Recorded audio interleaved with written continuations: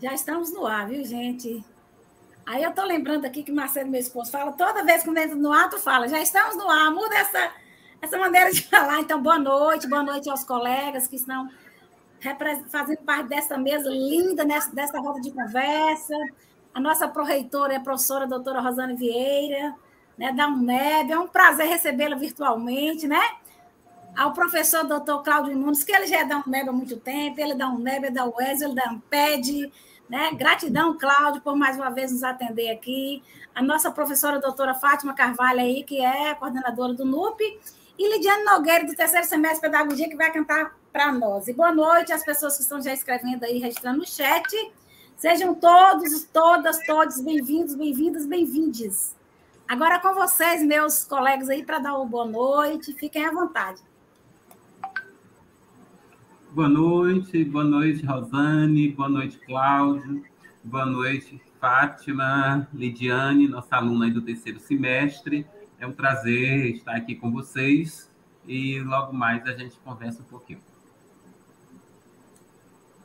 Boa noite para todas as pessoas presentes. É um prazer estar aqui é, virtualmente para ampliar o público, mas presencialmente mais adiante para poder a gente ficar mais perto.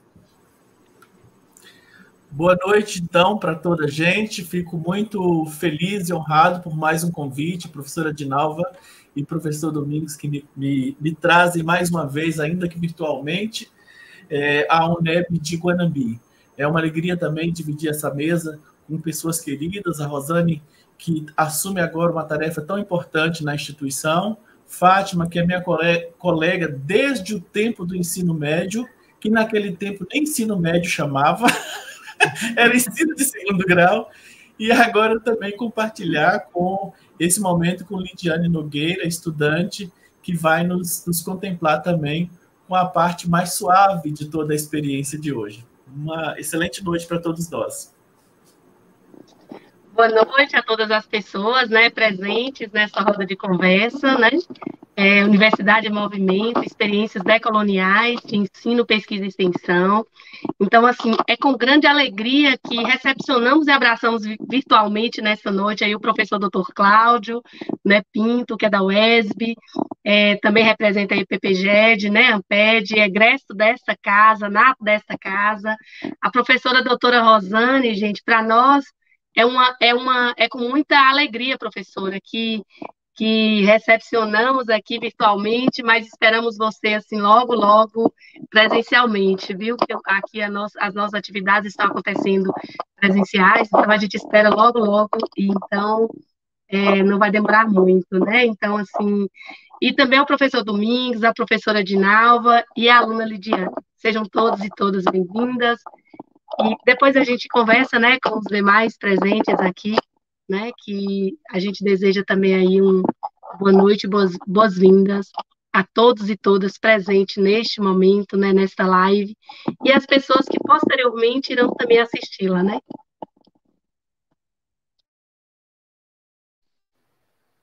Leidiana vai dar boa, boa noite, Leidiane? Boa noite. Sim, boa noite a todas as pessoas que estão aí nos assistindo. Queria deixar aqui um agradecimento especial para a professora Dinalva Macedo pelo convite e também deixar um abraço para todos os meus colegas do terceiro semestre noturno de pedagogia. Maravilha, gente, né? Só para ela, antes de você cantar aí, dizer que como o professor Domingo vai estar falando sobre isso, mas os nossos estudantes do terceiro semestre de pedagogia, tanto do matutino como do noturno, já estão registrando no chat, né, com atividade de curricularização da extensão das disciplinas de História Cultural Brasileira e Indígena, sobre a minha responsabilidade, da disciplina Núcleo Pesquisa e Prática Pedagógica 2, sobre a responsabilidade do professor Domingos. Então, vocês vão, é, registrem no chat, como eu falei, e nós podemos depois, no final, a gente vai colocar uma lista de presença para que as pessoas possam assinar para receber a declaração ou certificado. Vocês não vão receber, porque faz parte da curricularização da extensão dos alunos do terceiro semestre de pedagogia. Quem vai coordenar hoje é o professor Domingos, né, mediar, eu não vou ficar falando muito, não. Lidiane, é você que vai cantar agora. Lidiane vai cantar duas músicas para nós. Queremos lembrar também, gente, que Lidiane é amanhã. Lidiane, Jonatas e Letícia vão participar da live da Adum Web amanhã, Cantos, né? E, e, em Cantos, que já tem dois anos é, é, essa atividade, dia de sábado, às 19 horas. Então, vamos prestigiar os nossos estudantes, né? as nossas estudantes e o estudante de pedagogia da UNEB Campus 12 de Guanambi, só gratidão. Tá? Agora, Leidiane vai cantar duas músicas, né, Lei? Eu falei com você rapidamente assim, como é que você aproximou da música? Né? Você vai cantar Timbalaê, de Maria Gadu, e é preciso saber viver dos titãs, Gadu. Como é que você poderia falar um Isso. pouquinho? Como é que você aproximou da música sim, e você canta? Sim. Isso. Minha história com a música assim, começou desde bastante nova. É, quando eu tinha uns sete anos de idade, assim, eu comecei a sentir aquele interesse pelo violão, né? Pela música, e comecei a aprender aos poucos. É, com nove anos, eu ganhei o meu primeiro violão, e também com 14 eu comecei a compor. E aí esse desejo assim de continuar no mundo da música só foi aumentando a partir daí. Com 15 anos eu comecei a participar de projetos que tinham na escola, tanto que esses projetos foram assim decisivos, né, para para me mostrar que realmente a música era além da educação, era o meu propósito de vida. E aí até hoje eu estou aí. Eu também tenho um canal no YouTube, que durante a pandemia eu comecei a postar os vídeos, eu vi a internet como um meio assim muito importante, muito interessante de estar ali mostrando a minha música.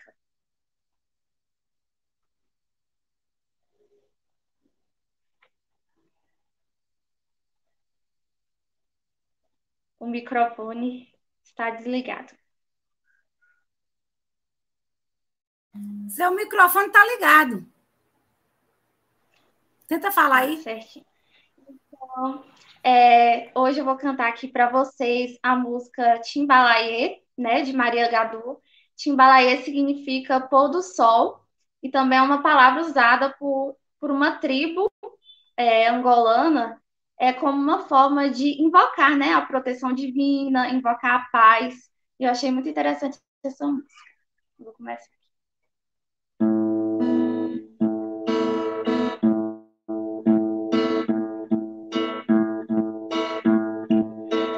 Timbalaê, quando vejo o sol beijando o mar.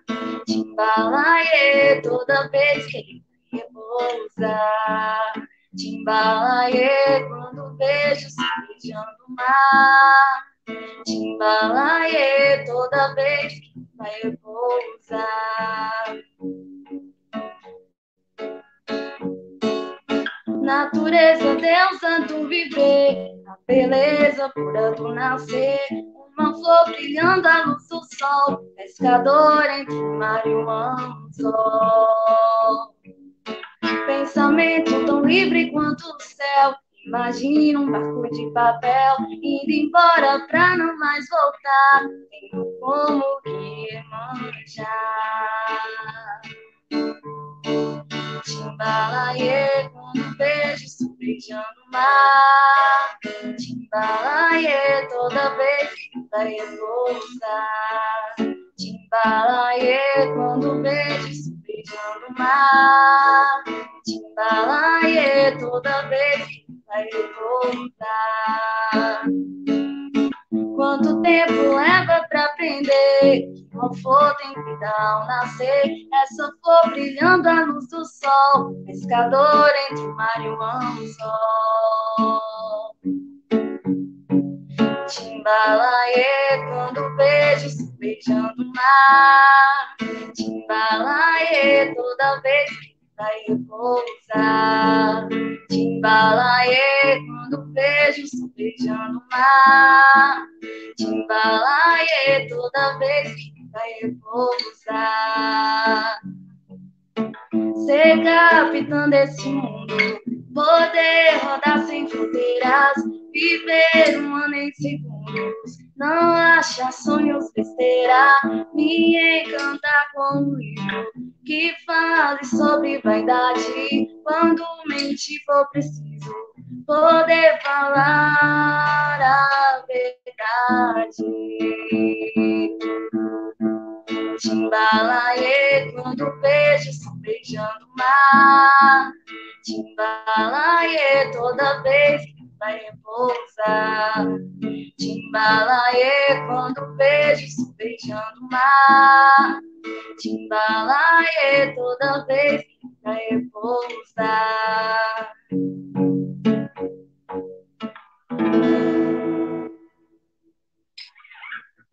Muito obrigada.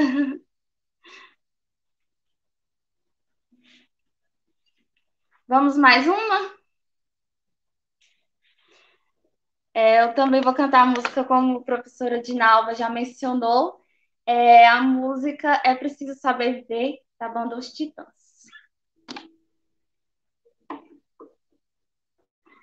Quem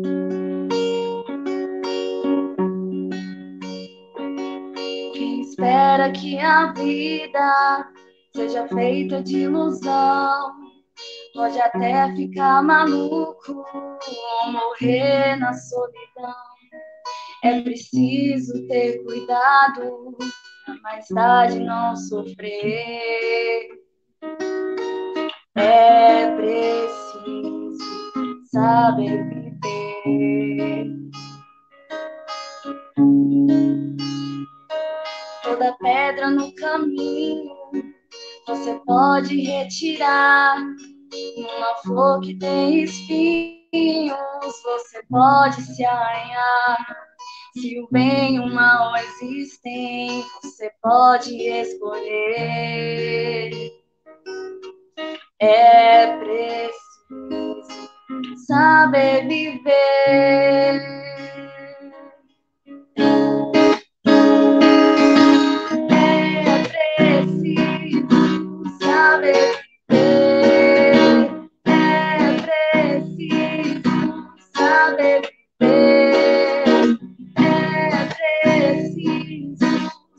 saber viver, saber viver, saber viver. Quem espera que a vida seja feita de ilusão, pode até ficar maluco, morrer na solidão. É preciso ter cuidado, mais tarde não sofrer.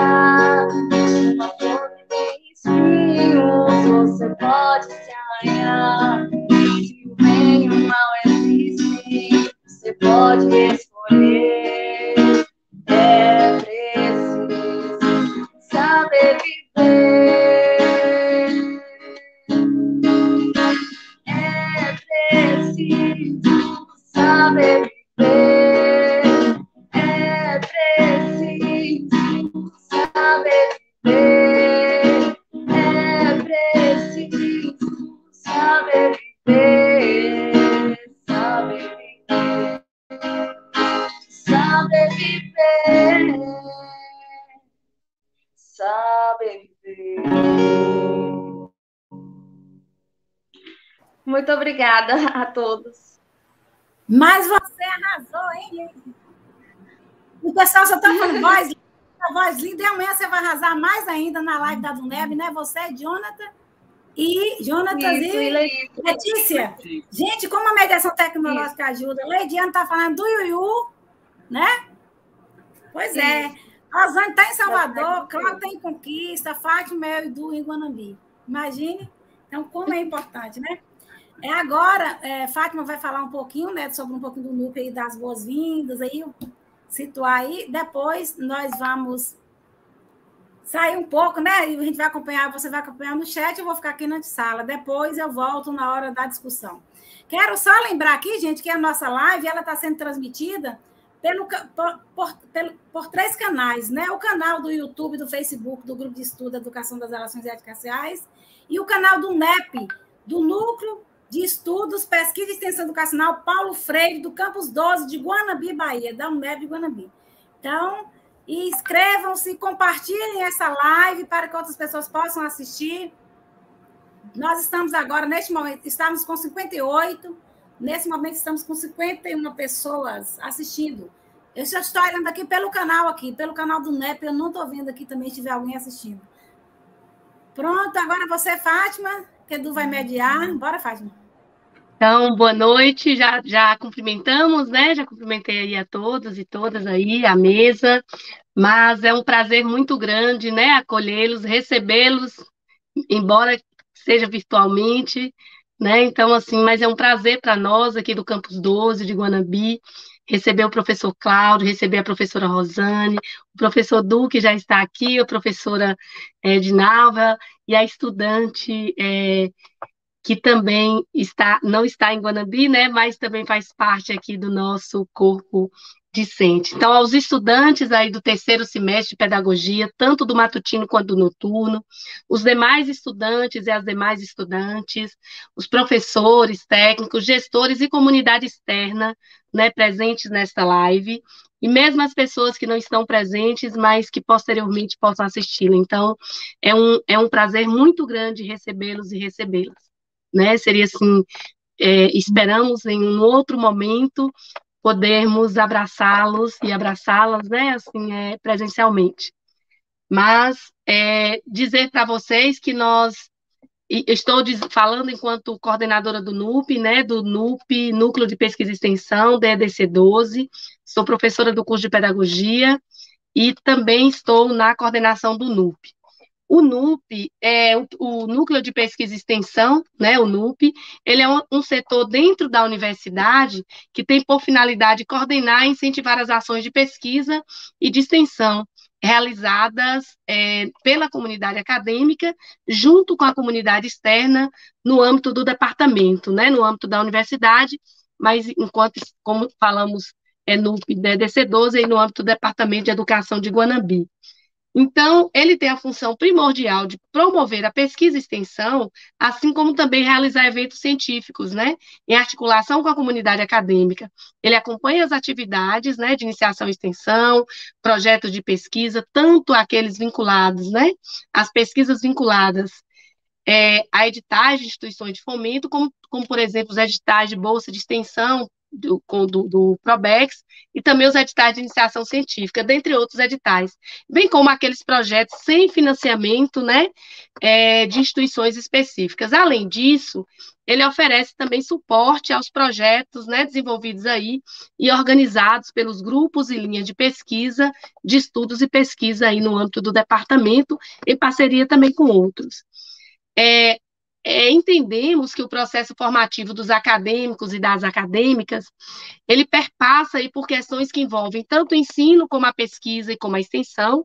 Eu acho que essa mesa ela vai trazer esse diálogo nesta noite, eu acho isso bem importante, porque a nossa formação está para além desse, dessa, do, do, dessas discussões específicas do campo do ensino da sala de aula, está para além disso, e nesse sentido, o NUP da EDC12, ele tem procurado dialogar aí com os cursos né, ofertados no departamento de maneira que a extensão e a pesquisa elas estejam interseccionadas aí com junto ao ensino. Então, além disso, a universidade, por meio do NUP também, tem assumido o compromisso social aí de ações garantindo desenvolvimento é, regional e fortalecimento da extensão no Alto Sertão da Bahia. Para além do sertão produtivo, que nós estamos aqui situados, né, no, no no território de identidade sertão produtivo da Bahia, nós temos aí propostas de pesquisa e de extensão é, é, em, outros, do, é, em outros territórios, né?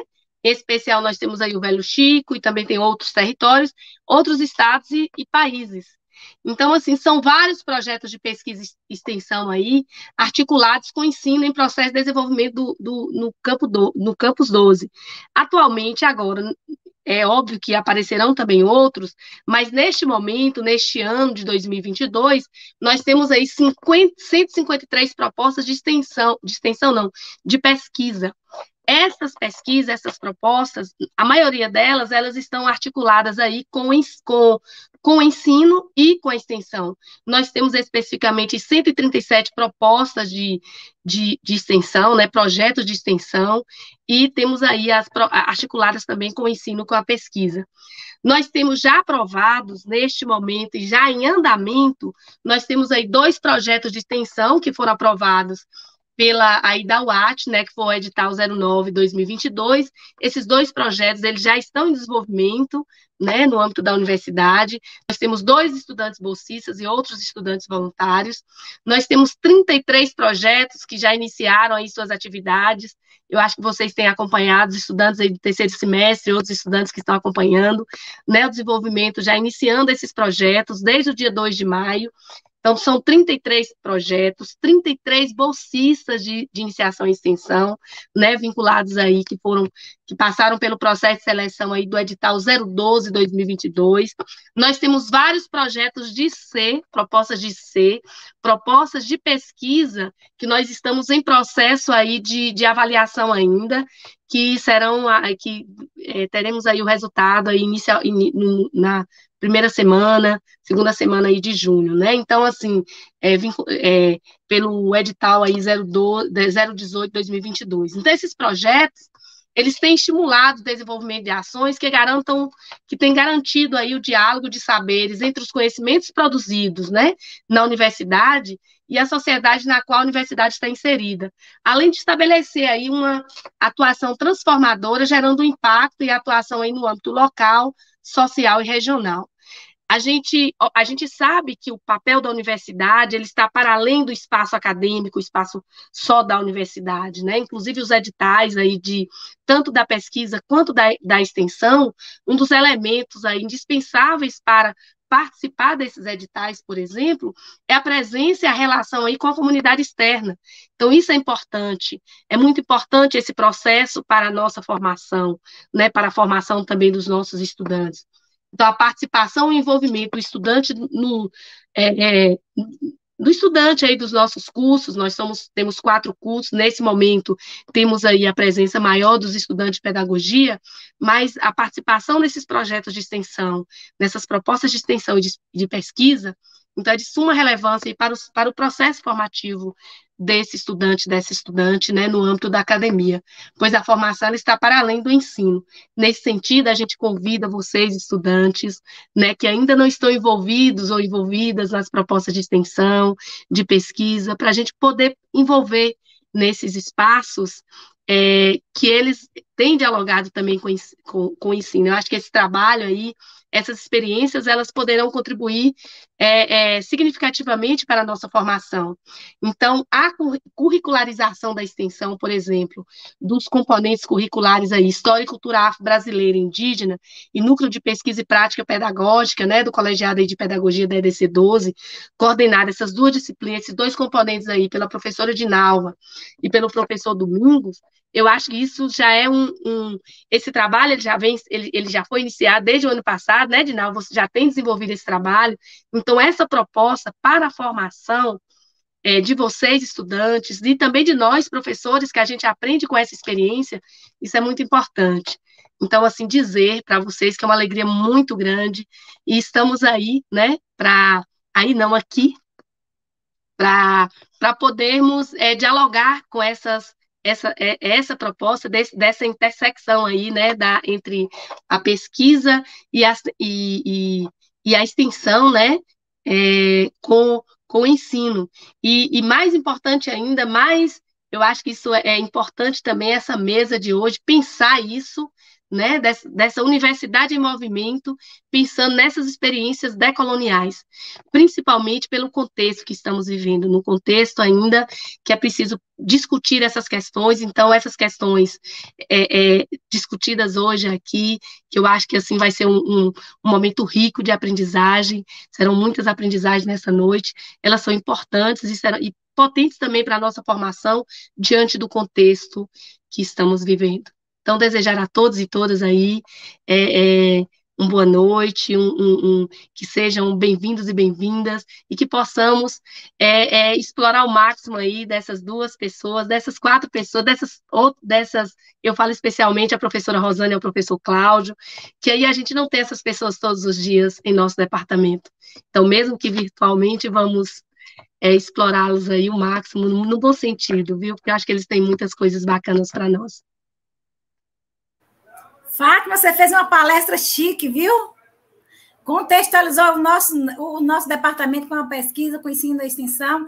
Você viu, Cláudio, Cláudio e Rosane, como o nosso departamento é chique. Por isso que a gente não dá muito conta de muita coisa, tipo mestrado, etc, etc. Em outra universidade, nossa carga horária não conta, mas a universidade quer registrar aqui com o PPGED, com Cláudio na coordenação, Denise, nos ajudaram, continuam nos ajudando bastante, mesmo está aprendendo a ser professora cada vez mais, né, Cláudio? No final da, da, da já está já tá passando de aposentar, desde 2018, mas por enquanto acho que vai demorar mais um pouquinho. É, agora o professor Domingos, viu? Gratidão, Fátima, você foi assim maravilhosa a sua explanação. Inclusive, já vou aproveitar aqui já dizer para você que na próxima semana, né, do dia 17 ao dia 24, é a semana de luta né, a do NEB nós fizemos uma reunião e querendo que a gente apresenta, que nós levemos dados, informamos como é que está a pesquisa e a extensão no nosso departamento. Já estou te pedindo esses dados aí, que eu vou enviar para o pessoal lá, que a gente precisa publicizar, mostrar como nós fazemos e fazemos muito bem, né, dentro das nossas possibilidades, né, trabalhamos bastante. Então, obrigada mais uma vez. Quero agora, daqui a gente vai sair agora, mas antes de sair, eu queria tirar uma foto né, com todo mundo aqui na tela. Bora uma foto? Eu não sou boa de foto, não. Quem é boa de foto? Você é boa aí, ó. Eu não pude mostrar aqui. Eu podia ter mostrado também aqui, né? Quem é boa de foto aí? Tira aí, gente, pelo amor de Deus, mais uma vez. Tira uma foto aí. Você é bom? Você é, Fátima? Cláudio?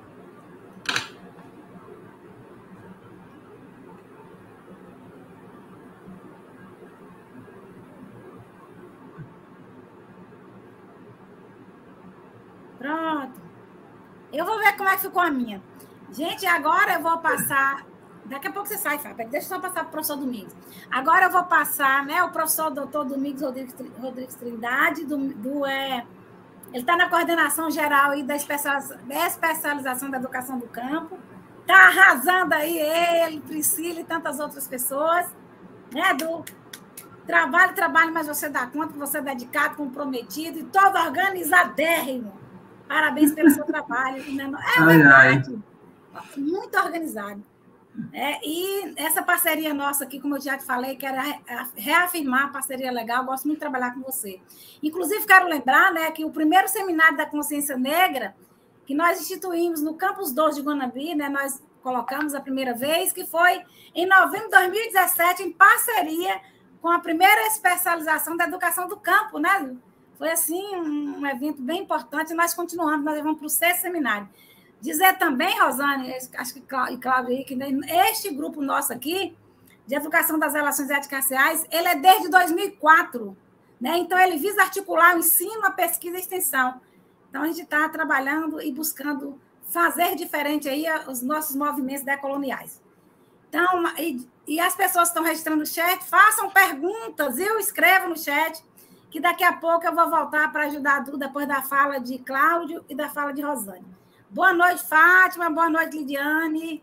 Vamos sair da tela e deixar esses três aí arrasando. Fazendo marketing, né? Então tá bom. Obrigado, Lidiane. Obrigado, Fátima. Obrigado, Dinalva, aí, pelo apoio técnico e pela, pela parceria de sempre, que é uma parceria, como você colocou aí, já há alguns anos, né? Não precisa falar quantos anos para não descobrir a idade. Mas é, é muito bom trabalhar com você.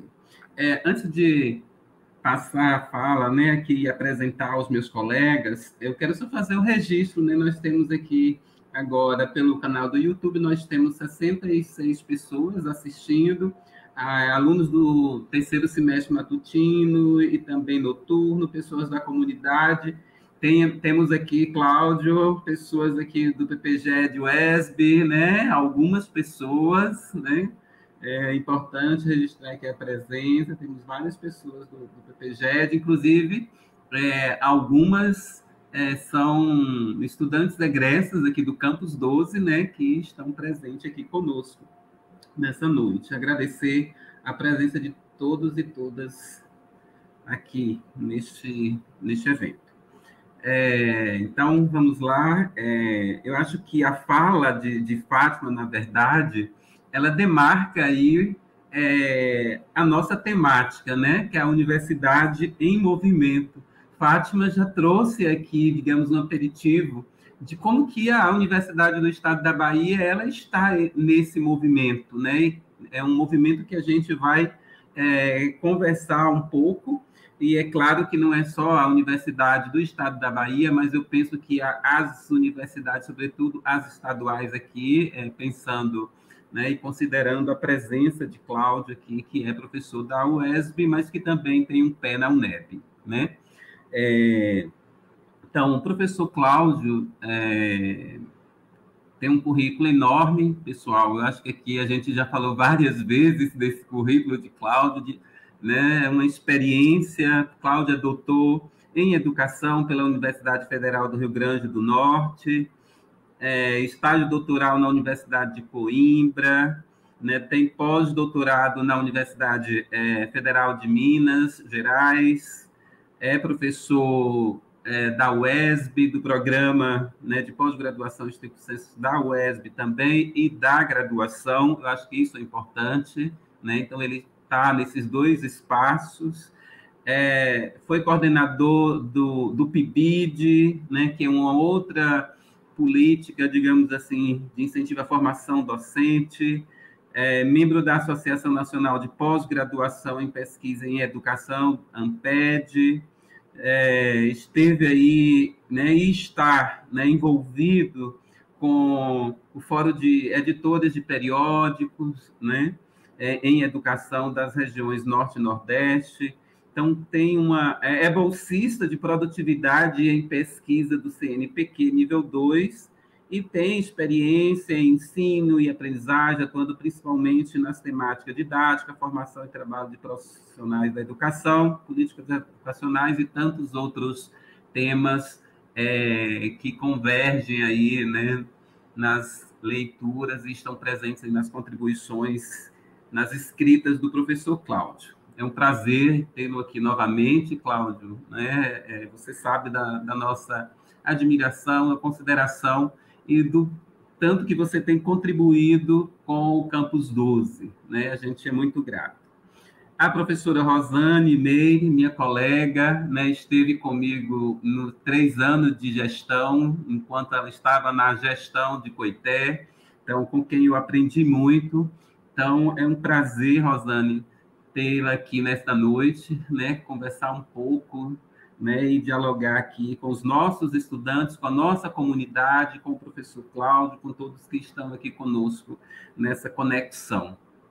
É, a professora Rosane, ela é doutora em educação pela, pelo programa de pós-graduação em pesquisa em educação da UFBA, é, tem mestrado em educação é, pela Faculdade de Comunicação da Universidade Federal também da Bahia, é líder do grupo de pesquisa Formação, Experiência e Linguagem, é também professora do. Como que é o nome do programa, Rosana, que eu, que eu me esqueço? MPED.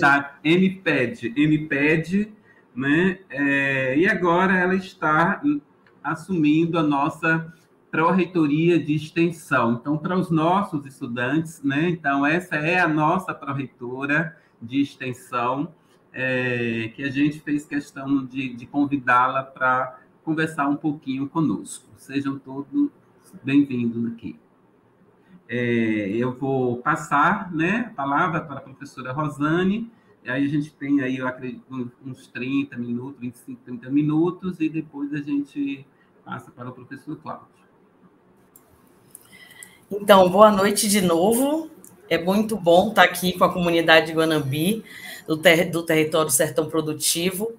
E falar para estudante é muito interessante, porque é sempre um movimento de abrir diálogos, né? E daqui a pouco eles serão também nossos colegas, então a gente sempre está disputando narrativas com eles, justamente para a gente construindo caminhos na universidade. É, quero é, é, fazer outra descrição aqui. Eu sou mulher preta, lésbica, e aí tem que falar lésbica porque é, tá, na, tá no meu corpo essa lesbianidade. Tenho cabelo curto, crespo, tô na frente da porta, exatamente pedindo uma energia a Exu, porque eu tô bem, bem. Eu acho que eu tô com virose, então quero pedir desculpas para vocês, eu tô meio lenta. Então posso, pode ter muito na minha fala, é, pode ter muito esse tipo de, de, de função fática da linguagem, né? Por conta desse cansaço. E a porta é branca, a parede branca, minha camisa é azul. É, então, eu, tô, eu estou assumindo a, a Proreitoria de Extensão. É, queria, antes de falar sobre, antes de começar a expor a, como, a, como é que eu vou organizar a fala, né, a metodologia, quero, dar para, quero parabenizar a Lidiane pela, pela música, né, que não é não é um momento cultural, é texto no evento, né? A música é texto, a arte faz parte é, tanto da pesquisa, ensino extensão. É, saudar a professora Dinalva, que conheci hoje, é, saudar a professora Fátima, do NUP, a gente já deve ter se encontrado, com certeza, nessas reuniões entre PROEX e NUP. Tem um grande desafio, né? Tá, estar no NUP é um grande desafio, porque você faz a gestão da pesquisa e da extensão no, no departamento, e isso não é fácil, né? Está sempre aberta a várias epistemes e, e, fazer com que aconteça, né? Ou seja, você dá o esteio para que as professoras, as técnicas, as estudantes é, possam se movimentar, né, dentro da universidade saudar meu querido amigo Domingos. Olha, se a gente já foi para a praia, né, Domingo? Pois a gente é. não é só colega de, de direção. A gente é amigo. Verdade. A gente dividiu toalha na praia, furacão, no Rio Vermelho, na areia, e foi um dia belíssimo que eu nunca mais esqueci. Então a gente é amigo e pois companheiro é. nessa, nessa trajetória da educação do campo, já aqui também sou, faço parte, a, é, é, contribuo com o CAECDT, né, que é um Centro Acadêmico de Educação do Campo, Desenvolvimento Territorial Paulo Freire, e torço sempre para esse grande grupo de articulação continuar fazendo universidade da forma que faz com os movimentos sociais. Um, um grande exemplo da gente pensar onde há essa relação tão forte pesquisa, e extensão é o CAECDT, porque o próprio o Cláudio a, o próprio colegiado tem a presença dos movimentos sociais, representantes dos movimentos sociais. Então, tudo é pensado com a sociedade, com as comunidades do campo, os povos do campo. E, finalmente, Cláudio, que eu encontrava, nos batíamos nos, na, nos fóruns né, de programas de pós-graduação em educação, quando eu representava o MPED nesses fóruns. Então, eu ouvia e aprendia muito com Cláudio e sigo ele no Instagram, sempre divulgando a revista. É impossível não pensar agora, Cláudia é revista. Se eu não me engano, é prática educacional. Então, sou seguidora, de, sou seguidora, Cláudia. Então, vamos lá. Eu pensei da seguinte forma na organização. É, tá aí escrito Rosane Vieira Proex, mas eu vou começar falando como, como docente, docente do, de um programa de pós-graduação é, é, é, profissional, um curso profissional, um mestrado profissional em educação e diversidade, que nasce lá em Jacobina, mas vai é, é, é, se espraira para Coité, e hoje é um curso, é o primeiro curso interdepartamental oficialmente instituído no Consul, é o nosso curso do MPED. As coisas foram. A gente houve vários testes antes, mas o primeiro instituído é o MPED. E aí eu queria falar um pouco, partir do MPED, porque eu acho, e aí eu quero mesmo, eu lembro de um grande colega, amigo, é, Henrique, lá do Campus 14, ele sempre coloca que a, a, a forma que eu tenho pensado gestão é muito na perspectiva de professora. Então, eu não saí desse lugar para fazer gestão. É, na, é como professora que eu penso a gestão na, na universidade, desde a gestão lá em Coité e agora aqui assumindo a ProEx nessa nova é, nesse novo projeto de UNEB que está sendo construído pelas professoras Adriana e a professora Deise, né? Então eu queria falar um pouco desse lugar. Primeira questão que eu queria colocar é que o mestrado profissional especificamente os profissionais, né, e também doutorado profissional, já é uma grande rasura a concepção de pesquisa, a concepção de, de, de pós-graduação, né? Uma rasura é, é, no sentido de que, de que é, é, é, se constrói assim. Enquanto que a gente, lá nos mestrados e doutorados acadêmicos, a gente, a gente faz arranjos epistêmicos para justificar um outro rigor, né? ou rigor outro, vamos colocar assim, assumindo o livro lá de Roberto Sidney, de Álamo e de Dante, a gente fica tentando arranjar, fazer arranjos epistêmicos para justificar ações, justificar movimentos outros. No mestrado profissional, nós fazemos, não, não, não, tem, não, tem, não tem um arranjo é, é, é discursivo sobre, mas a nossa pesquisa ela sempre parte do local de trabalho, né? Então a gente está falando aqui de professoras que, que pesquisam, que fazem pesquisa, montam seus projetos de pesquisa a partir de inquietações, implicações no seu na, na própria escola ou nos ambientes de formação, não só é, é, formal como a escola, mas universidade também, também outros ambientes como é, é, espaços formativos outros, né? Como, por exemplo, sindicatos, que também são espaços formativos. Então, é, dessa forma, é, a gente, a gente, a gente no fazer, a gente vai, vai, vai convencendo epistemologicamente no, a nossa produção, que é uma produção valorizando, que é uma produção científica, que pode ser considerada científica.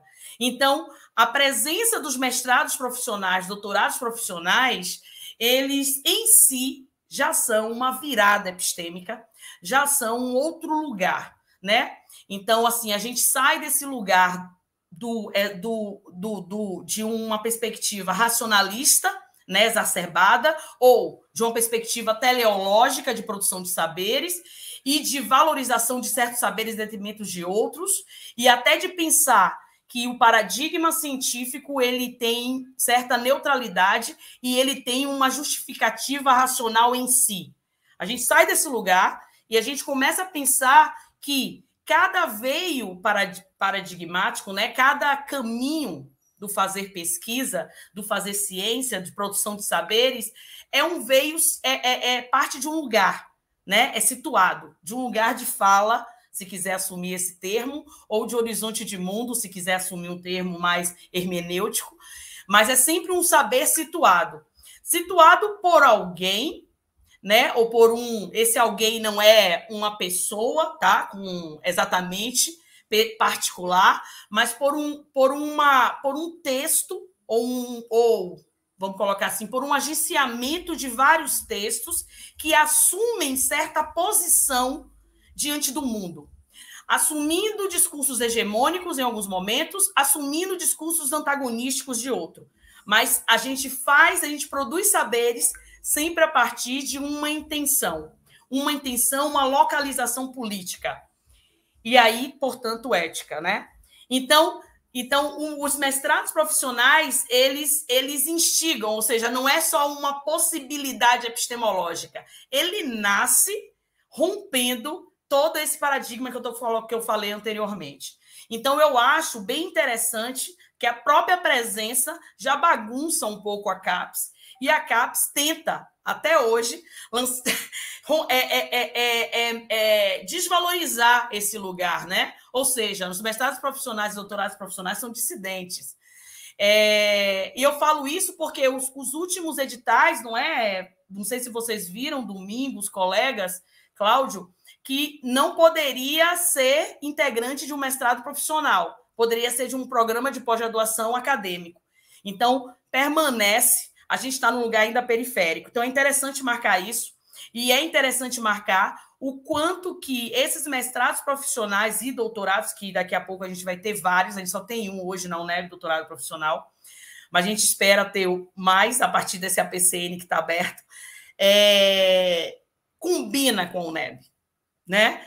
Porque nós temos uma, um veio de formação de professores, então nossos professores os professores que nós formamos, eles querem continuar na universidade fazendo pesquisa, e, e, e, fazendo pesquisa a partir do seu lugar, local de trabalho, a partir do seu, do seu locus. E isso aí é bem interessante. E aí eu queria marcar uma outra questão que é importante. É, quando o MPED chegou em Coité, eu já era diretora tá? E aí eu tenho um dado que eu quero compartilhar com vocês. Não é só Fátima que tem dados, tem um dado também. É, com a presença do MPED, depois só de dois anos, o, o, a quantidade de projetos de pesquisa e de extensão aumentaram, aumentou a quantidade. Já aumentou em, no nível de 70%. O que, que a gente quer falar com isso? Né? O que, que eu quero dizer com isso? Eu quero dizer que é, quando você, você amplia a possibilidade de grupos de pesquisa, constituição de grupos de pesquisa, de pessoas organizadas para produzir saberes e pensar na difusão desses saberes, você contamina o campus, não só os seus próprios colegas doutores que querem se credenciar ao programa, mas os colegas que não são doutores, mas são, mas querem também se, se associar com os projetos de pesquisa e de extensão. O campus foi demandado por vários, várias secretarias municipais de educação tá, do território, Queimadas, Nordestina, é, Santa Luz, Valente, Retirolândia, por conta do mestrado. Nós fomos solicitados para construir parcerias para montar cursos livres, cursos de aperfeiçoamento, ou seja, extensão. Então, a gente, a gente abre a universidade, ou seja, não, não dá para a gente mais pensar, tá? E aí eu quero marcar isso na fala, que é, existe o lugar do, da, da, da pessoa extensionista, né? o lugar da pesquisa, o lugar do ensino. Não existe a pessoa, mas a me... as pessoas, melhor dizendo no plural. Mas essa mesma pessoa, ela, fa... ela vai fazendo esses movimentos. E a gente, nessa lógica moderna que a gente é formado, a gente quer categorizar, a gente quer classificar. E aí a gente diz: olha, meu projeto é de pesquisa, meu projeto é de extensão, minha, minha atividade é de ensino. A gente vive querendo classificar, mas cada vez mais está ficando difícil essa classificação. Né? Quem preenche CIP percebe. CIP, eu acho que Cláudio, não sei se sabe, Cláudio sabe, é o Sistema Integrado de Projetos que a gente tem aqui na UNEB, e a gente tem que o tempo inteiro atualizá-lo, porque a vida é mais dinâmica, né? é mais rica que qualquer tipo de abstração ou de planejamento. Então, nesse sentido, eu acho que é, bem, é esse dado só demonstra tá, o quanto a gente, é, é, a presença de uma pós-graduação não valoriza um grupo de, de pesquisadores, pesquisadoras. Ele valoriza a produção de extensão e, e a graduação. Não à toa, né, Domingos, também a gente teve o curso de agroecologia em Coité. No mesmo período, a gente pode pensar que teve, que houve, claro que houve, outros movimentos políticos envolvendo a constituição desse curso de agroecologia, mas que, de certa forma, estavam conectadas. Por quê? Porque Jusce, que coordena é, é, agroecologia, é uma professora do MPED.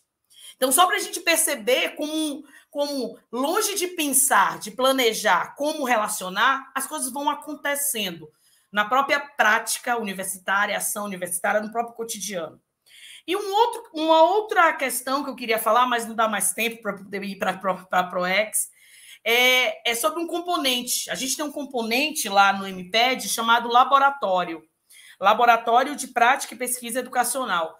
E esse, e esse componente ele, ele foi constituído em uma reestruturação curricular, não porque precisava colocar extensão no currículo, porque a curriculação da extensão, no âmbito nacional, é só na graduação, mas na UNEB é graduação e pós-graduação, Cláudio. Mas não porque a gente precisava colocar no currículo, mas porque a gente via que os projetos dos nossos alunos geravam muita atividade extensionista. E, e essas atividades extensionistas eram construídas exatamente na itinerância. Não era o projeto de intervenção. Eu não estou falando que era o projeto de intervenção, né? Porque no, processo, no mestrado profissional o estudante, a estudante precisa também fazer a intervenção. Mas não é só nessa perspectiva. Durante o próprio processo dele, por ele ser secretário de educação de algum município, de algum município, professora de algum município, sabe? Por ela estar, ela estar na rede, ela movimentava a rede ao ponto da gente se aproximar da ao ponto de se aproximar da universidade e fazer proposições de intervenção.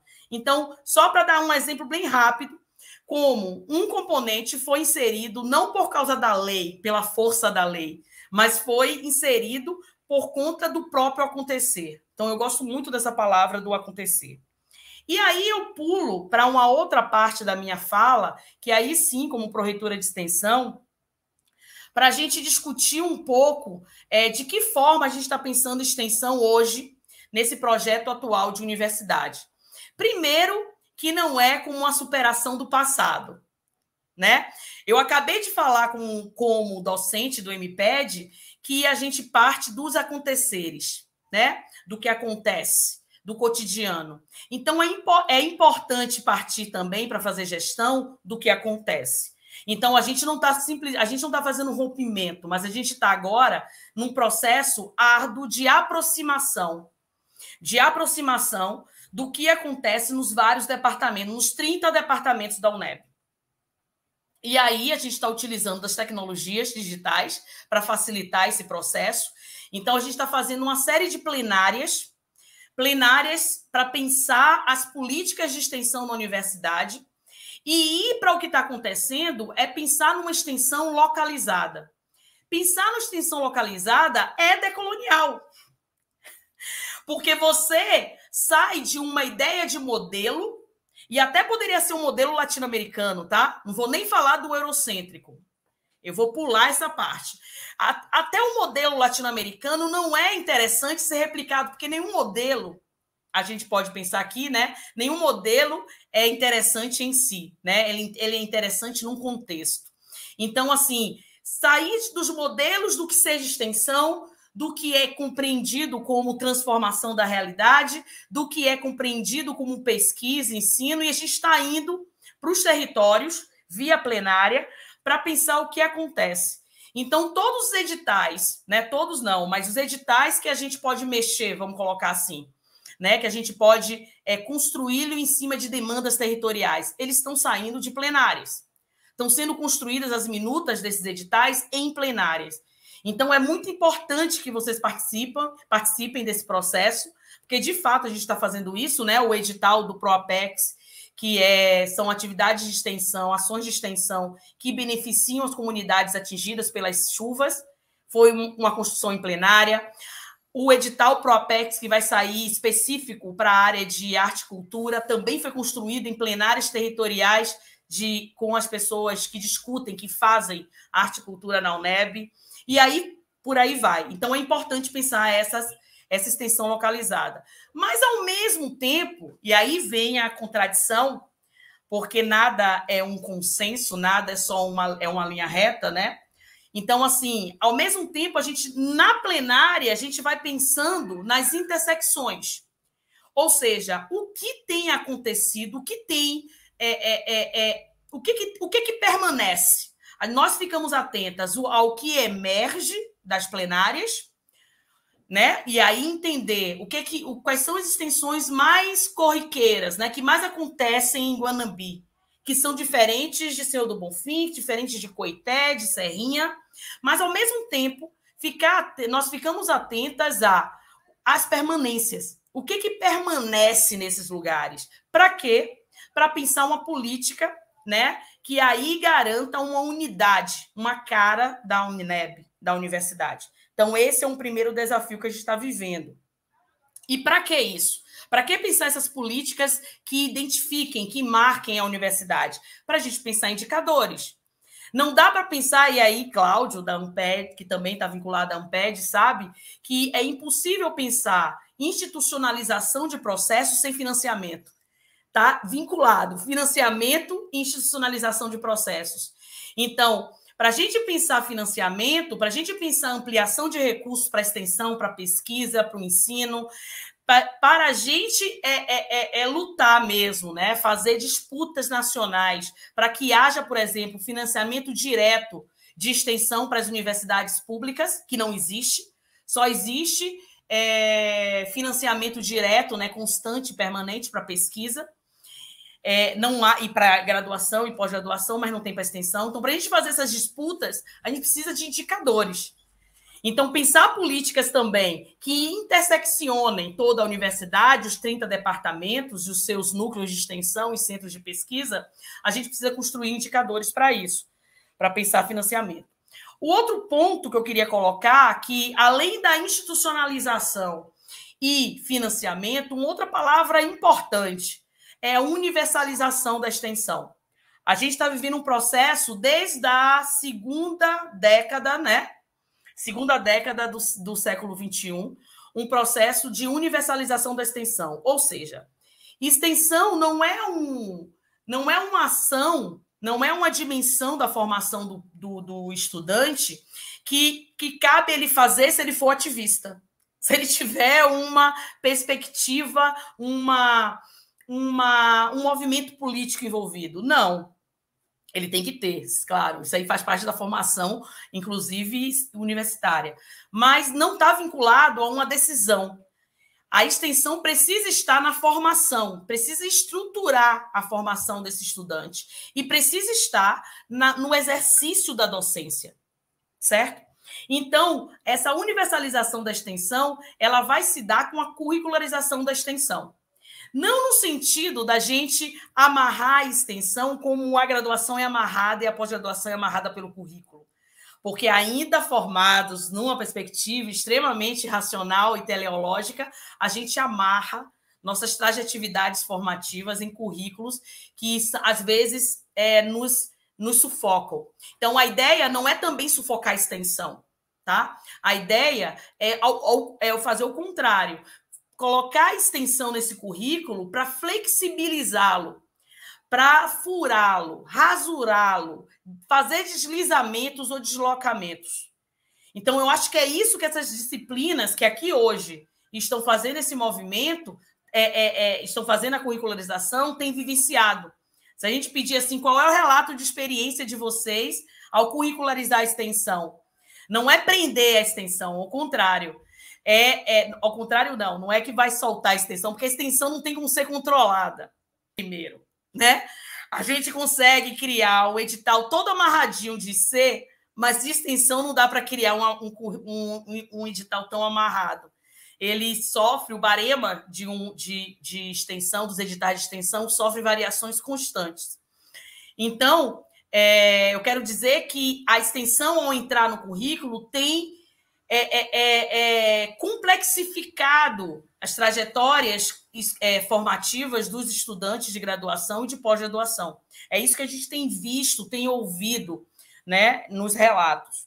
Então, essa relação ensino e extensão é algo que, que, que, que já está acontecendo na UNEB, acontece desde 2018, as, os debates, mas desde 2019, na, é, foi instituído essa, essa relação e a gente está vivendo intensamente esse processo. Aliás, é importante contar que em conversas com os cursos de bacharelado, a gente percebeu que ainda tem pouco só, a minoria que já alterou o PPC, né?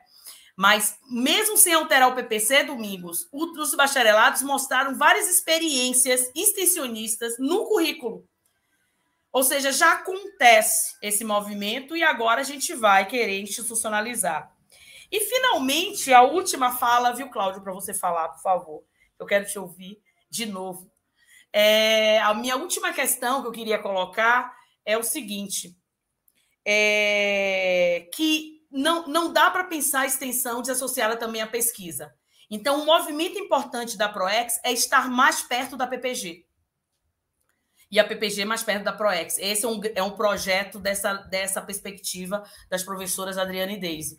Então, a gente quer perfurar, perfurar os editais de publicação, por exemplo, de apoio para publicação de periódicos, porque não é só o pesquisador que publica, o extensionista, a extensionista publicam, né? É, muitas pesquisas, muitas extensões, eles saem de projeto de pesquisa, mas não só por isso, mas porque a gente está produzindo também saberes e saberes numa perspectiva extremamente horizontalizada, com as comunidades externas, que não só são, que até a gente tem que começar a mudar esse termo, não são as comunidades beneficiadas, são as comunidades que nos encontram, nos encontram como público dos nossos, das nossas, é, é, nos nossos eventos, das nossas atividades extensionistas, mas também é a comunidade que faz parte da equipe executora. E esse é o movimento que a ProEx está fazendo.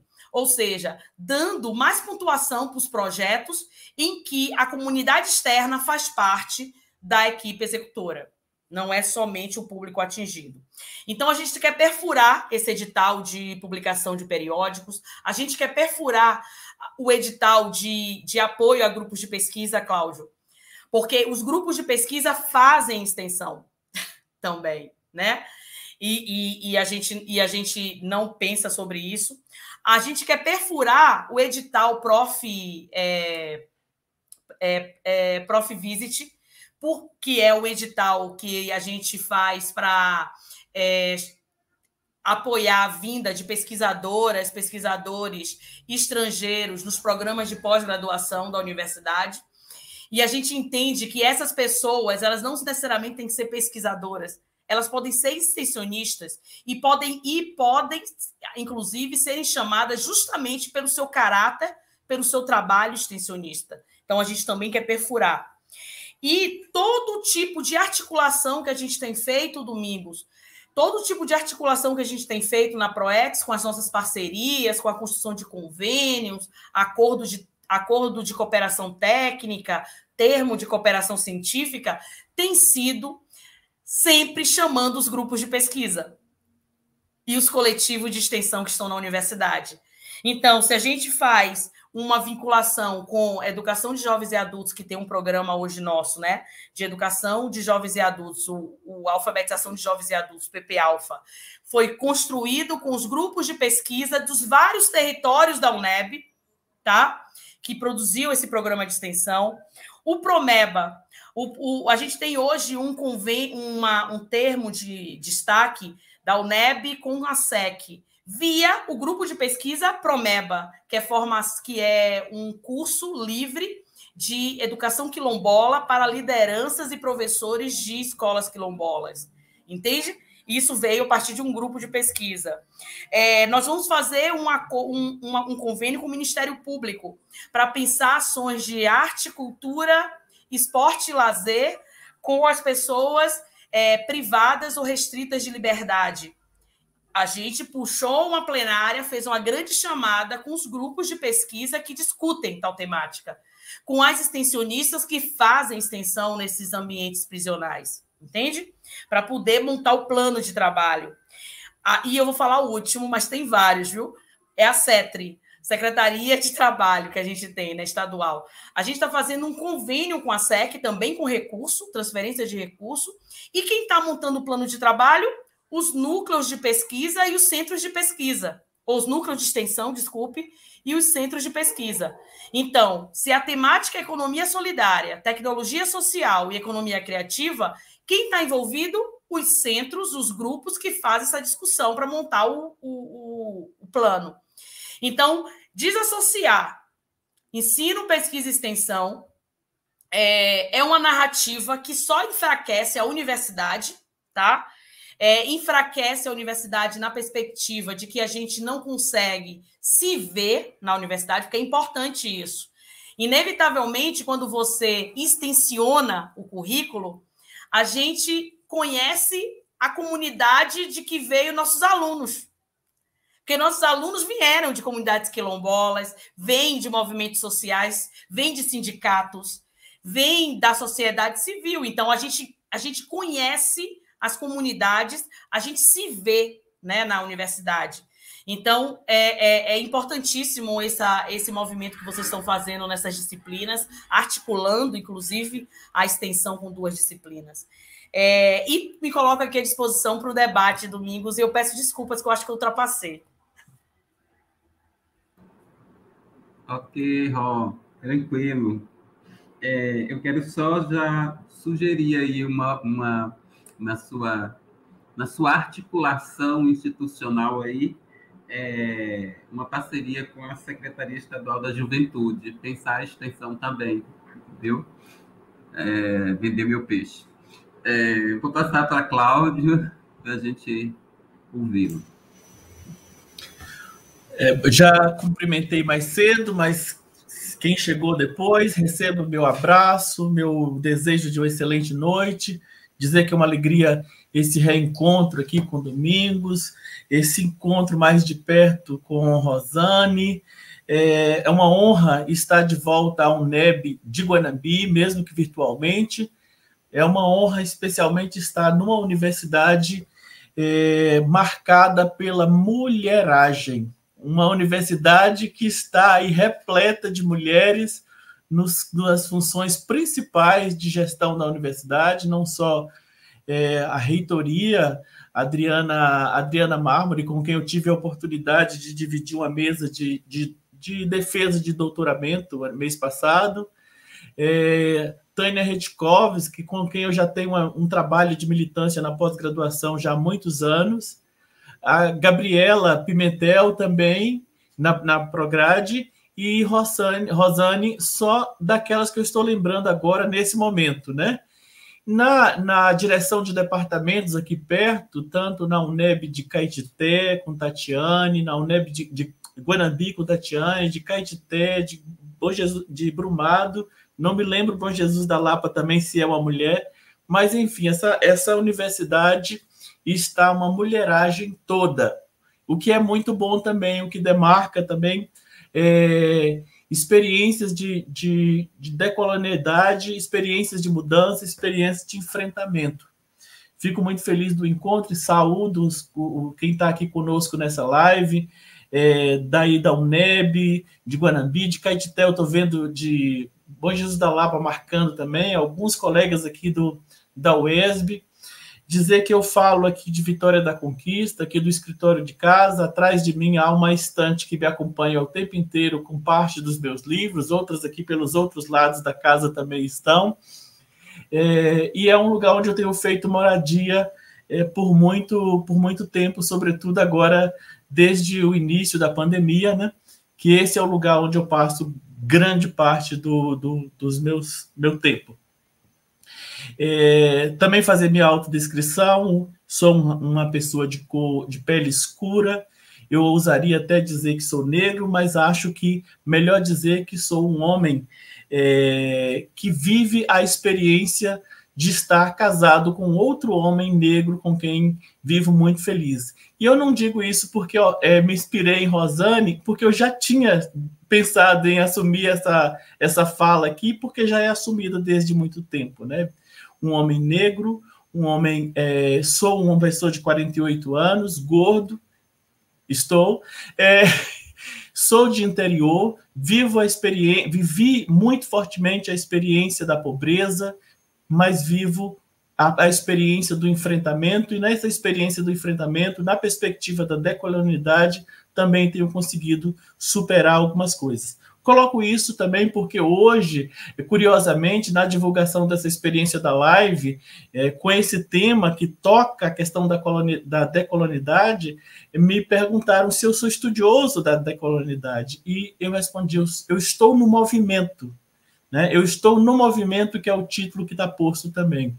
Acompanho, participo, experimento e, mais do que isso, Vivo a felicidade da decolonidade, vivo a felicidade das superações. É importante dizer isso porque a gente é, é, é marcado, atravessada, nossas, nossas histórias são atravessadas pela experiência do pensamento colonial. E isso está desde sempre, desde que criança, nós acompanhamos é, toda uma marca, desde um ambiente global, quando a gente pensa a, a uma ideia de, de, superioridade do norte né, em relação ao sul, nas perspectivas da história, nas perspectivas epistemológicas, sobretudo marcado por Europa e Estados Unidos, e que a gente é, é mais consumidor, historicamente, consumidor das epistemologias.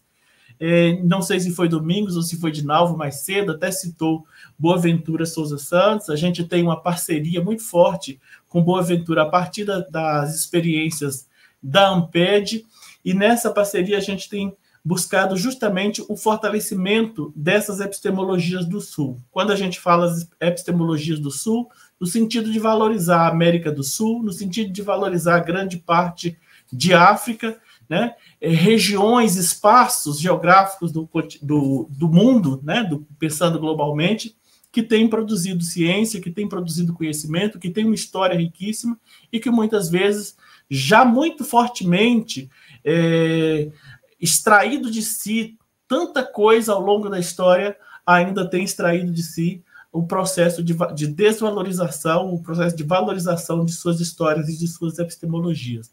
Quando a gente traz essa distinção também para o contexto brasileiro, vivemos no âmbito da universidade, vivemos no âmbito das experiências para além da universidade também, uma, uma certa super, superioridade é, percebida, muitas vezes declarada e muitas vezes sentida do sul do Brasil, sul e sudeste, do eixo sul e sudeste em relação ao norte e nordeste. Agora, no contexto das mídias, que a gente tem tudo divulgado, que a gente tem todas as os cards de todas as coisas, eu citaria apenas um exemplo: os cards das bancas de defesa de tese e de dissertação. Quantas pessoas, quantas defesas a gente encontra de Sul e Sudeste com membros avaliadores do Norte e Nordeste, por exemplo.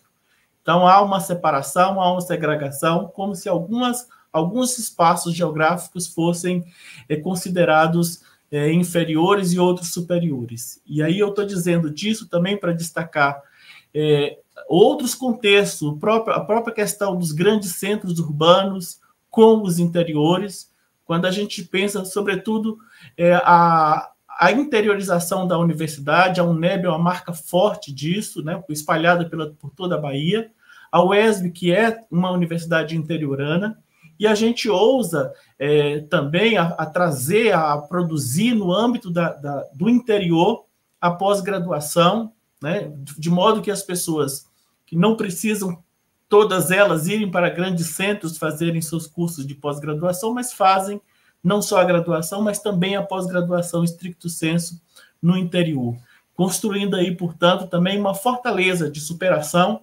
nesses espaços geográficos e produzindo oportunidades, construindo oportunidades também nesses espaços.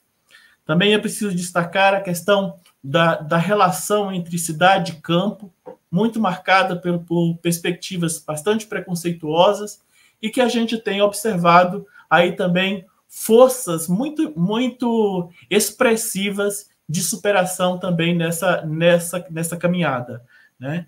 A gente tem, por exemplo, também dentro das universidades é, a relação entre cursos de bacharelado, cursos de licenciatura, desde a questão dos financiamentos, desde a questão dos espaços físicos, desde a questão da representação ou da representatividade é, de, desses cursos para a sociedade, o que marca e remarca também na questão da composição das, das, das carreiras de trabalho e dos salários que esses profissionais bacharelados e licenciados é, vivenciam nos espaços da, da vida do, do, mundo do trabalho. Ainda destacando esse, esse binômio, essa, essa sequência de binômios que eu trago para introduzir, também pensar é, a própria história do ensino médio, né, como uma, um ensino médio que, durante mu muito tempo, foi um lugar de formação bastante segregada, de preparação para o mundo do trabalho, para a mão de obra, e de preparação para o ingresso, e de outro lado, a preparação para o ingresso é no, no ensino superior. A gente teve forças assim para, para produzir, para construir uma proposta de ensino médio que, é, que vem desde a LDB de 96, né, com uma perspectiva de formação geral para o ensino médio, entendendo que o cidadão brasileiro precisa, tem o direito de ter, todos eles, a oportunidade de constituir sua formação básica consolidada, é, não tendo que se dedicar ainda no ensino médio para uma formação profissional. Aí é preciso destacar também que nós temos um, uma, um momento de, de fraqueza, um momento de regresso, de retrocesso, melhor dizendo, quando a gente tem a aprovação da Lei 13.415 em 2017, que é o chamado né, novo ensino médio, que, que retoma a década de 70 e coloca de novo uma formação propedêutica para quem pode, quem tem recurso para isso, condição financeira para tal, e uma formação profissional para o enfrentamento logo mais cedo do mundo do trabalho por aqueles jovens que, que estão e que vivem em condições financeiras e condições sociais menos favorecidas. Quando a gente fala dessa retomada, desse regresso no ensino médio, a gente isso atinge frontalmente a universidade, Porque se a pessoa já compreende que a sua formação é suficiente desde o ensino médio, o espaço que, é, que foi, nas últimas décadas, construído nas universidades para essas pessoas, pode vir a ficar um espaço vazio.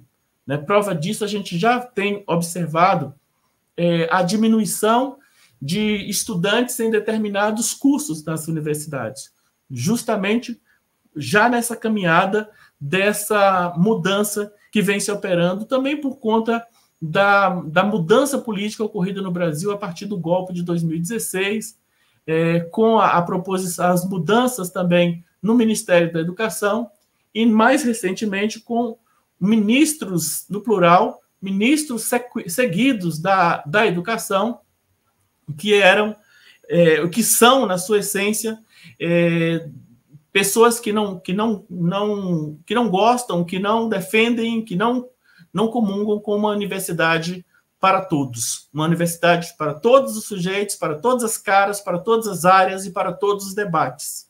Uma, e compreende uma universidade, ou que compreendem, no plural, uma universidade para formar, é, é, formar áreas estratégicas específicas, como é, aquelas que são historicamente bem valorizadas pela sociedade e pelo mundo do trabalho. Né? E aí eu sempre tenho destacado, observando especialmente o contexto que a gente viveu e vive ainda da pandemia, o que seria de nós sem uma formação na área de humanas para enfrentar no ambiente de nossas casas, na solidão que nós tivemos que enfrentar, é, a vida no, no, no trabalho remoto, no isolamento social que a gente teve que fazer.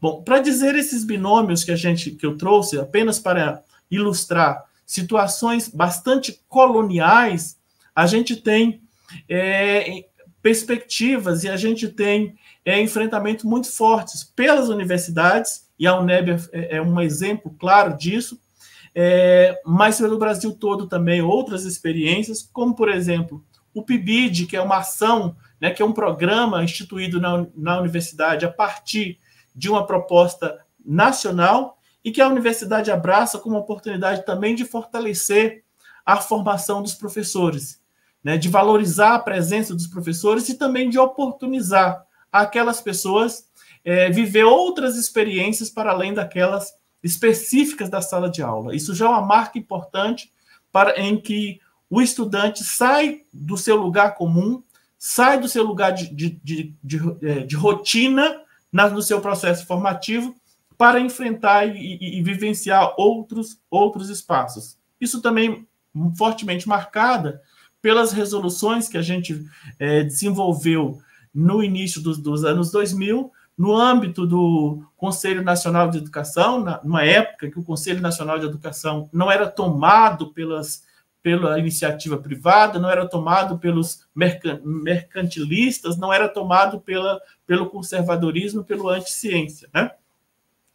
É, além do PIBID, a gente pode observar várias outras experiências que têm marcado o movimento da universidade, como, por exemplo, as políticas de cotas, né, que criam oportunidades e que faz com que outras pessoas se sintam da possibilidade de adentrar, de romper a bolha, né, de, é, é, de furar, como, como Rosane disse, de furar os editais, furar os espaços, de romper a bolha e entrar esses espaços e assumir esse espaço é nosso, esse lugar é nosso. A política, as políticas de assistência estudantil, quando a gente fala de cotas, a gente fala de assistência estudantil, a gente fala também de bolsas para estudos, a, tudo isso é fruto de lutas históricas travadas por aqueles que estão no espaço do enfrentamento e no espaço da, da possibilidade, da necessidade de buscar as mudanças para constituir uma universidade que abrange e que caiba todas as pessoas. A universidade ela é fruto dessas lutas. As mudanças que a gente assiste, que a gente participe, que a gente promove, são mudanças fruto dessas lutas. Pelas instituições, pelas, é, pelo poder público, notadamente no, nos últimos anos, nós estaríamos restritos a uma série, limitados a algumas poucas ações e muitas delas já não existiriam ou nunca teriam existido se não fosse desde lá do movimento do, do, da UNE na, na, durante a ditadura militar, da sede de democracia nos anos 80, da vontade de redefinir e, e, e enfrentar e propor mudanças no governo central do Brasil já nos anos 90 e pela efetiva é, assunção de um governo popular que, de alguma forma, é, embora caibam muitas críticas, é, olhou, compreendeu e aceitou receber e conversar com as classes, as diferentes classes sociais e, portanto, com os diferentes grupos, com a diversidade que no movimento pautou, né, pautou é, questões bastante pertinentes para todos nós. E que hoje em dia a gente ainda continua lutando, ainda continua clamando, especialmente pela organização dos grupos. E aí a gente fala de grupos de estudantis, por exemplo, as representações estudantis, mas também as representações de, de classe, da, da classe trabalhadora, como sindicatos, que é fruto de, de, dessa ação que nós temos eh, garantidas também algumas conquistas para a classe trabalhadora. Os movimentos de sociais, de um modo geral, que têm enfrentado fortemente a, as, as práticas coloniais na busca da construção das experiências no movimento é, decolonial. Isso tudo é muito importante. A gente registra com alegria os anos, o ano de 2016, daquele movimento das ocupações das escolas e das universidades e dos institutos federais, como uma manifestação, um, um, uma, um refresco de esperança numa juventude que, que teve parte de sua formação forjada num tempo é, em que não se, no momento em que se estudou pouco sobre história, estudou pouco sobre ditadura militar, estudou pouco sobre coisas que são o fortalecimento da luta. E quando eu falo do fortalecimento da luta, eu quero registrar que todas essas, todas as mudanças que a gente vem desenvolvendo, né, que chega, por exemplo, a PIBID, a políticas de cota, assistência estudantil, bolsa de pós-graduação, editais para fomento disso e daquilo, tudo isso é, é luta desse movimento, é luta que é travada justamente no reconhecimento da importância é, do fazer de cada um nesse movimento, nesse processo. A universidade, então, reconhece nessa, nesse percurso de ensino, né, que tradicionalmente a universidade é colocada como lugar do ensino, especialmente do lugar do ensino de graduação, começa nas últimas décadas a reconhecer que é, é a, a, universidade também é o lugar da pesquisa, né? E, as universidades mais antigas, históricas, que já vêm há, há muito, há 100, há 100 anos já vinha desenvolvendo e que as nossas universidades mais recentes começam a dizer: não, isso aqui não pode ser só a graduação, embora a graduação já seja grande coisa. É preciso também ter o ensino de pós-graduação, é preciso ter a, a, pesquisa e é preciso estender. Quando a gente fala estender, significa atingir, atingir outros grupos que eventualmente não viriam para a universidade.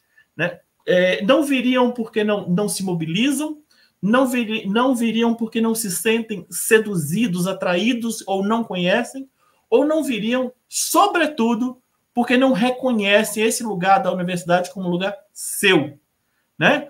Quando a gente observa, por exemplo, pessoas que participam de projetos, pessoas que participam de programas, que daqui a pouco vou dar alguns exemplos, pessoas que vêm para a pós-graduação necessariamente não como aluno regular, mas como aquele que faz uma disciplina como aluno especial, é, aquele que vem para participar dos grupos de pesquisa porque se interessam por determinado tema, são pessoas que olham para a universidade e, e, e num primeiro momento, estranham aquele lugar, porque é um, um movimento que começa agora ainda a, a, a, a ser reconhecido como lugar de todos. A pós-graduação, e quando Rosane fala da, da extensão, e destaca ainda que a pós-graduação também faz extensão, é, é um, um, movimento que o, o, próprio, os próprios instrumentos de avaliação da pós-graduação começam a reconhecer. Quando, quando nos provocam, nos provocam a abrir mais vagas de aluno especial. As vagas de aluno especial que a gente abre na pós-graduação, é, que antes, aqui no próprio PPJET, a gente abria 3, 5 vagas, agora a gente abre 20 vagas, 30 vagas, a, a depender de cada disciplina e dos espaços físicos que a gente tem para caber os alunos, é, a gente passa, recebe gente que quer fazer mestrado, a gente recebe gente que não quer nunca fazer um mestrado, mas interessa por aquele tema, seja professor, não seja professor, seja da educação, não seja da educação, mas se interessa por aquele tema e quer estudar aquele tema pontualmente. E nós fazemos também, no caso mais específico do programa, dos programas de, de educação, nós fazemos é, processos de formação continuada através da extensão, não só dessa extensão que a disciplina permite. Aí, quando a gente fala dessa extensão dentro das disciplinas, a gente observa também que há outros espaços de extensão que estão surgindo dentro dos, a partir também dos programas de pós-graduação. Nós podemos citar um exemplo aqui na UESB, desenvolvido e coordenado pela professora Arlete Ramos, o ano passado, um programa chamado Forma Campo, né? que é um programa que tinha a intenção de atingir um quantitativo de, é, mais, de municípios mais próximos aqui da, da, da nossa instituição, mas que acabou travando uma parceria é, com a Undime e fazendo uma. e aproveitando a circunstância do, do universo online e abrangeu um quantitativo muito mais expressivo de professores que atuam no campo. Quando essa extensão, essa atividade de extensão, que está dentro de uma pró-reitoria de extensão, está dentro de um departamento, mas está também dentro de um programa de pós-graduação em educação, é, atinge, alcança essas pessoas, essas pessoas são reconhecidas ou se veem, veem reconhecidas como pessoas pertencentes a esse bem público chamado universidade. Se sentem como parte, assumem essa parte, tomam parte e, de fato, é, muitas delas, inclusive, se sentem mobilizadas para além daquele processo de extensão. E muitas daquelas que vieram pra, pra, para participar de uma atividade extensionista terminam ingressando numa especialização, num mestrado, ou, a depender da circunstância, numa outra graduação ou numa graduação também. Ocupando lugares que são feitos para as pessoas, para a comunidade. São lugares que a gente chama, divulga, provoca as pessoas, instiga as pessoas é, para que elas venham é, estar conosco nesses espaços. Os grupos de pesquisa também, que ao mesmo tempo que são de pesquisa, né, são também de estudo, são oportunidades também de formação, é, têm abraçado, têm recebido, têm desenvolvido um trabalho bastante extensionista, na medida em que vai para as escolas, há grupos de pesquisa, inclusive, que se reúnem, desenvolvem suas atividades com agendas nas escolas ou em outros espaços fora da universidade, ou trazem para os espaços da própria universidade os sujeitos que estão na comunidade e participam de processos formativos, estudando mesmo determinadas temáticas e fortalecendo essas pessoas nas suas ações. Reparem, todo esse movimento em busca de uma construção decolonial implica formação, implica mobilização para a formação implica a construção de um conhecimento que parte da apropriação do histórico do conhecimento já consolidado, já experimentado, já é, respeitado pela comunidade social, acadêmica e científica, mas também com a possibilidade de acréscimos de revisão feitas constantemente. Quando há esses processos de formação, no âmbito das diversas instâncias, seja no ensino, seja nos grupos de pesquisa, seja no desenvolvimento das pesquisas, seja na, na, na, no ensino ou no, na extensão de modo geral, a gente tem, então, é, o fortalecimento que mobiliza as pessoas a conhecer direitos. Né? Eu estive aí na UNEB, no encontro, há alguns anos atrás, onde uma jovem disse, aqui, na, é, egressa do curso de pedagogia, aqui na UESB eu descobri que eu era negra. Né? Ela, ela, essa assunção, essa assunção é importante. É, é, é, nesse espaço que as pessoas assumem aquilo que, que é historicamente considerado inferior. E quando elas assumem aquilo que é historicamente considerado e posto como inferior, elas percebem a, o valor, o valor e ressignificam aquele valor, aquela, aquelas, aquilo que ela historicamente esconde, e ao reconhecer e ao valorizar tudo isso, elas mobilizam outros sujeitos. Repare que o conhecimento fortalece e, ao mesmo tempo que fortalece, a assunção daquilo que historicamente é considerado inferior mobiliza outros sujeitos. Por isso, hoje eu vim, na, iniciei o meu processo aqui para dizer minhas coisas, o que, que eu sou, onde vivo, né? A, a, os enfrentamentos, aquele que teve muitas dificuldades, aquele que, que, que tinha o, o, o, as restrições todas, mas também aquele que superou a pobreza. Repare, superar a pobreza não é assumir a riqueza, não são polos. Superou a pobreza, aquele que conseguiu o mais alto nível de formação, que eu jamais imaginava na minha época de escola básica que eu chegaria a ser doutor, pós-doutor. Aquele que hoje é professor pleno de uma universidade, o mais alto nível da carreira. Aquele que hoje é reconhecido pela comunidade científica como bolsista de produtividade em pesquisa. Aquele que orienta é, é, pós-graduando. E eu estou colocando isso não para me gabar, é, até porque isso não é motivo de, de, de, de autoelogio, mas motivo para dizer assim: houve enfrentamentos, e esses enfrentamentos, a universidade, a Universidade do Estado da Bahia, o campus 12 em Guanambi, é, tem marca forte. Então, está na universidade, nos espaços da pesquisa, nos espaços da extensão, nos espaços do, dos processos de ensino, de vivência, de inovação e de descoberta, é, é, estar nesses lugares é importante pelo conhecimento, porque a formação, o que nos fortalece é saber conhecer lei, conhecer direitos, conhecer as epistemologias que sustentam as posições, conhecer onde é que estão as fraquezas daqueles que, so, que dizem que são fortes, né? aqueles que, que, que oprimem, conhecer o, o, os direitos e os deveres e fazer um processo de militância. Muitas vezes, quem me escuta dizer, nas minhas falas, escuta, olha, eu estou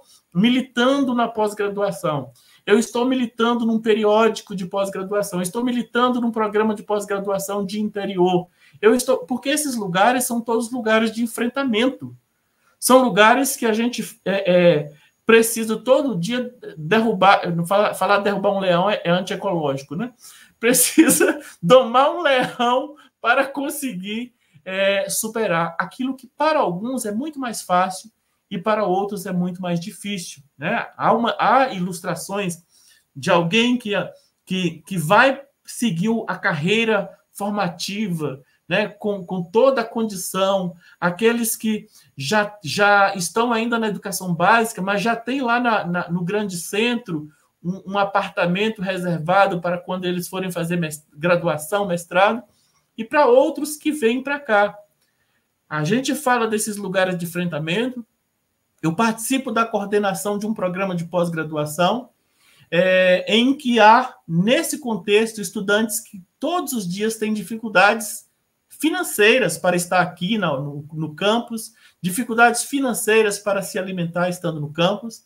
A universidade ainda não tem uma política de assistência estudantil para a pós-graduação toda a assistência estudantil está voltada para a graduação, não há ainda uma. São espaços ainda que precisam ser enfrentados nesse processo de, de, de decolonização. É, é, quando eu falo isso, eu, eu tenho chamado e falei outro dia muito sobre a necessidade de promover um letramento político, que é aquilo que nós precisamos fazer nesses espaços, para nós e para os outros. E hoje eu acrescento também um letramento decolonial, para que a gente possa é, explicar, para que a gente possa primeiro compreender para si, para nós mesmos, e compreender e fazer compreender para os outros o que é de todos, o que é uma universidade, o que é o espaço de vivência compartilhada e como a gente pode, nas diferentes perspectivas étnicas, de orientação é, sexual, de gosto, de, de todas as coisas, de, de, do colorido que. Imagina a gente pensar em preconceito numa Bahia tão rica, num país tão rico como o Brasil, né? a gente pensar em preconceito e A gente precisa, portanto, cada dia mais de conhecimento, de militância, de enfrentamento e, e nesse processo de enfrentamento, de demarcação dos espaços, de demarcação dos espaços, de assumir-se, ser e, e, buscar e trazer para, para cá os outros que vivem na obscuridade do, dos espaços, no, na escuridão do medo, na escuridão da vergonha. É, vejo com, com alegria a forma como a UNEB, em Guanambi, especialmente falando agora, está organizando esses processos né, de, de, de, de, inter, de uma perspectiva mais intersectorial das disciplinas, dos, dos espaços de extensão, dos espaços de ensino, essa perspectiva de curricularização da extensão também tem a sua pegada, tem a sua importância, e aí, nesse sentido, eu cumprimento e saúdo, e paro por aqui porque hoje eu vim mais para escutar e para conversar, e já fiquei bastante contemplado com a fala de Rosana, Rosane, e ficaria feliz só se tivesse, se tivesse apenas ouvido ela, já estaria bom. Muito obrigado por aqui. Obrigado, Cláudio. Bem, é, deixa eu só fazer alguns registros aqui. Deixa eu tentar ver se eu consigo. A nossa diretora, a professora Tatiane Gomes Marcos, está aqui presente. É, temos a professora Rosimária, de Caetité. Os nossos estudantes, estamos com, no canal do YouTube com 55 pessoas. Nossos estudantes, estudantes de Bom Jesus da Lapa, estudantes do primeiro, terceiro semestre aqui de pedagogia, manhã e noite. Temos pessoas também de outros estados. E Dinalva voltou aí já. Ok, Dina. Voltei, eu, Pronto, eu, vou, eu tenho algumas. Eu já consegui localizar aqui. A professora Tatiane falou da interiorização da educação superior, é importantíssima é, infelizmente, ainda segue passos lentos na pós-graduação estrito senso, né? Então, acho que é importante, né? Eu vou trazer algumas observações que temos aqui no, no chat, e aí Cláudio e Rosane é, pode já... A Dinalva já colocou aí para tecer algum comentário.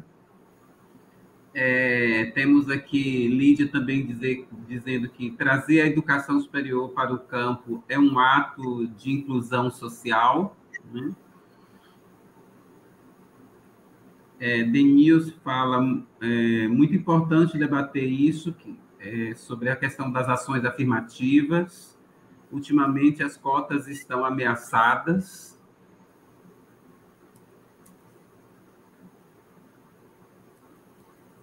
Rosimari, que é professora de Caetité, disse que essa balbúrdia é resistência, vive a universidade pública. É, Lidiane Nogueira, é, é, extremamente importante promover na universidade pública experiências de outras culturas e projetos, rompe fronteiras, para que a educação não se baseie apenas na teoria, mas também na pesquisa prática.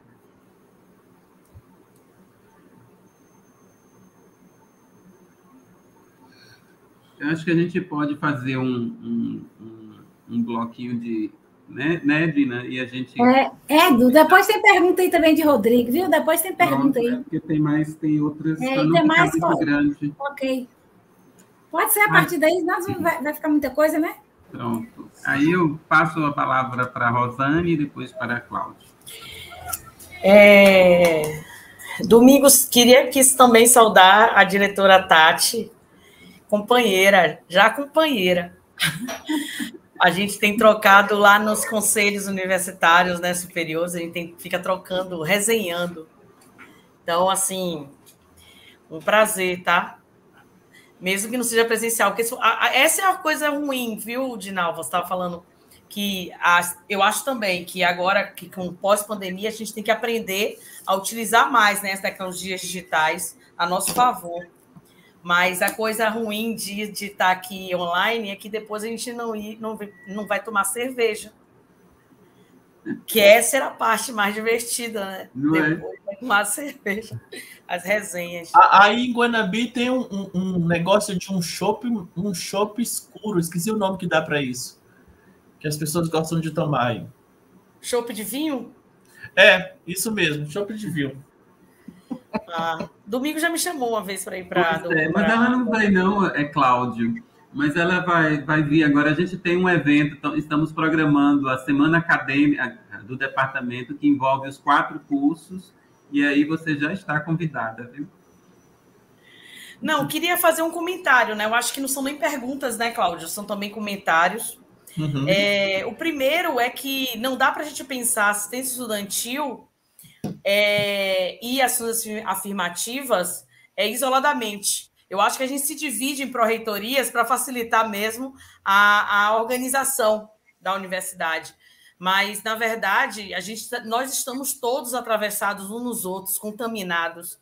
E quando a gente pensa, por exemplo, o programa de, de iniciação à extensão, né, as bolsas de iniciação à extensão, a gente está pensando também assistência estudantil, né? Ou seja, não dá para desatrelar formação acadêmica de assistência estudantil numa universidade pública esprairada em todos em quase todos os territórios de identidade da Bahia, em que a maior parte do nosso, dos nossos estudantes eles têm uma vulnerabilidade socioeconômica, né? Então, assim, é impossível não pensar essas questões atreladas, como também as suas afirmativas, né? Nós somos uma universidade, essa pesquisa já houve nós somos no exatamente por conta das por conta por conta da, da pandemia, inclusive, né? Houve a pesquisa do diagnóstico e pelo diagnóstico da universidade, para aquela pesquisa nós por nós, nós somos uma maioria preta e de mulheres. Então você acertou. Não, nós não temos só mulheres na gestão, nós temos uma grande maioria de mulheres no corpo estudantil, técnico e docente. Então, essa pesquisa já foi feita. Eu não lembro agora que exatamente aqui a porcentagem, mas a gente está falando aqui de mais de 60%, Cláudio. Isso eu tenho certeza para falar. Mais de 60%. Então, é, é, essa, as questões de assistência, de cotas e de ações afirmativas, elas são questões preponderantes para se pensar pesquisa, ensino e, e extensão. É, eu, eu até já em, uma outra, em um outro espaço, eu até discuti isso né, com o pessoal de Euclides da Cunha. É, a gente fica pensando, a gente pensa, a, a gente organiza a nossa aula para aquelas, aquelas três aulas ou quatro aulas noturnas, né? Estou falando aqui do pessoal que dá aula de noite, como eu dava aula de noite para a turma de comunicação social lá em Coité. Só que eles não chegam no primeiro horário, eles só chegam no segundo, porque eles vêm com ônibus da prefeitura dos, dos municípios vizinhos ou distritos. Então a gente planeja para as quatro horas, mas a gente só tem três horas. Por que, que a gente não a gente para de planejar para quatro e começa a se organizar para três, né? É uma questão.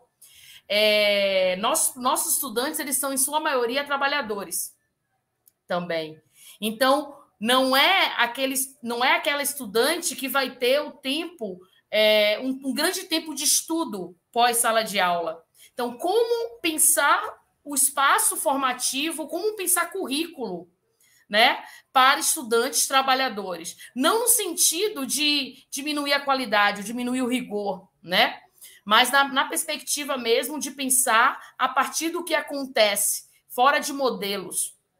Então, o nosso modelo não pode ser a UFBA, Cláudio que, é, que muita gente insiste nisso. Qual é a universidade mais antiga da Bahia que tem maior tradição? Então, vamos, vamos buscar aqui replicar o que a UFBA faz. Não dá para replicar o que a UFBA faz. Não dá nem para replicar o que as outras UEBAs fazem, porque nós somos maiores, né? A gente tem mais campi. Então, é muito mais complicado. Então, acho que a gente tem que começar a pens nos pensarmos. E aí eu queria responder, Domingos, bem assim, é, Maíra, né? Que ela escreveu, ela colocou assim: sempre acompanhado, cadê? Boa noite, Quirrano, né, 2007, ao definir o termo colonialidade, diz que este se constitui num padrão de poder que encontra apoio no capitalismo. Não apoio, está centrado no capitalismo, sendo também entendida enquanto outra fase da, moder face da modernidade, sempre acompanhada por processos de opressão e dominação dos países e grupos subalternos, Diante disso, o meu questionamento é sobre como promover a decolonização dos currículos escolares e universitários. Eu acho que não é ninguém que promove, não é alguém que vai fazer. Eu acho que nós, ao adentrarmos a universidade, no curso de enfermagem, no curso de pedagogia, nós que somos trabalhadoras, nós que somos negras, nós que, nós que precisamos de uma assistência estudantil maior, é, é, nós que, que, que, que precisamos é, é, ocupar e discutir, disputar né, espaços dentro do colegiado para re, repensar currículos. Eu não vejo como, olha, a, a, universidade precisa formar seus professores do núcleo docente estruturante para repensar os currículos.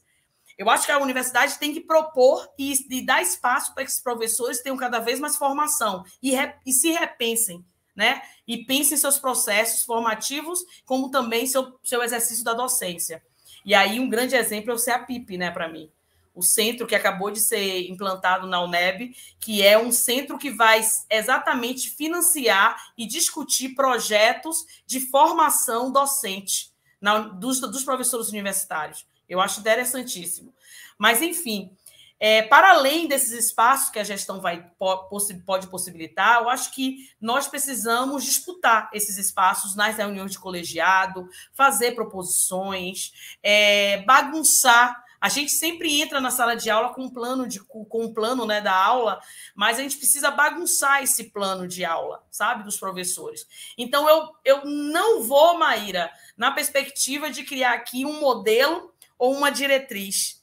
Eu vou, eu tento responder na perspectiva de que nós, ninguém mais pode falar por ninguém, sabe?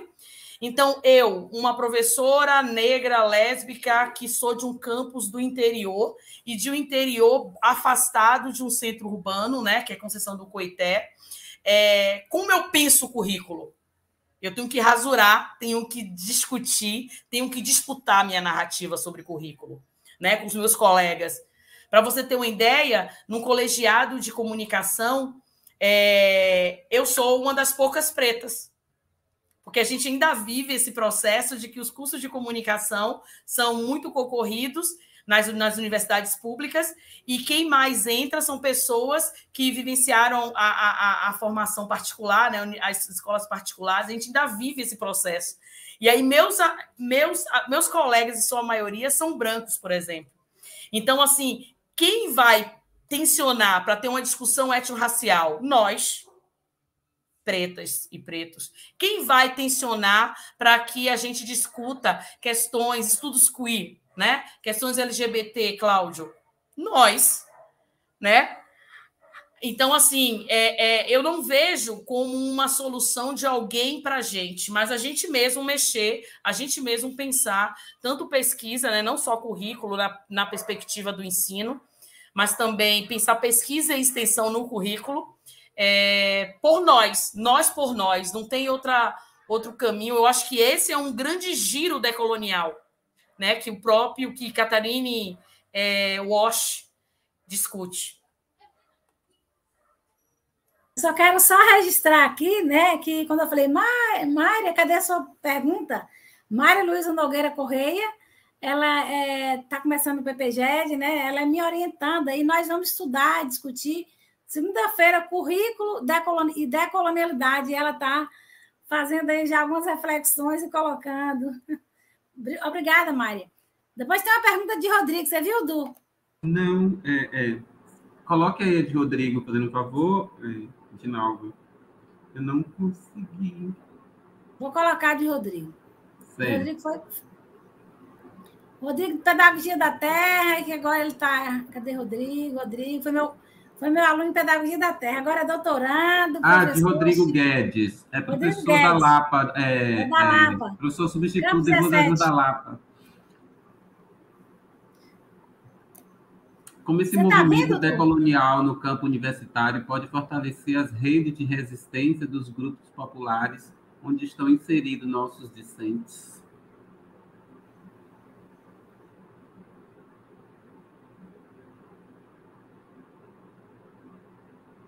Ei, Cláudio e, e Rosana. Posso? Eu estou esperando ouvir Cláudia aqui. Bom, eu queria destacar alguns pontos, assim, das, das contribuições que vêm do, do, do, chat, são todas, assim, bastante reafirmativas de, de suas histórias, de suas trajetórias, a importância das cotas, a, a, a interiorização como, um, como uma, uma política mesmo, que é fruto mesmo dessas lutas que todos nós é, temos feito ao longo do, do, dos tempos aí de implantação de cada, desde cada departamento do interior, é uma luta que é importante e sem a qual eu, por exemplo, jamais teria feito curso superior. Né? Se não fosse a interiorização, eu jamais teria feito curso superior.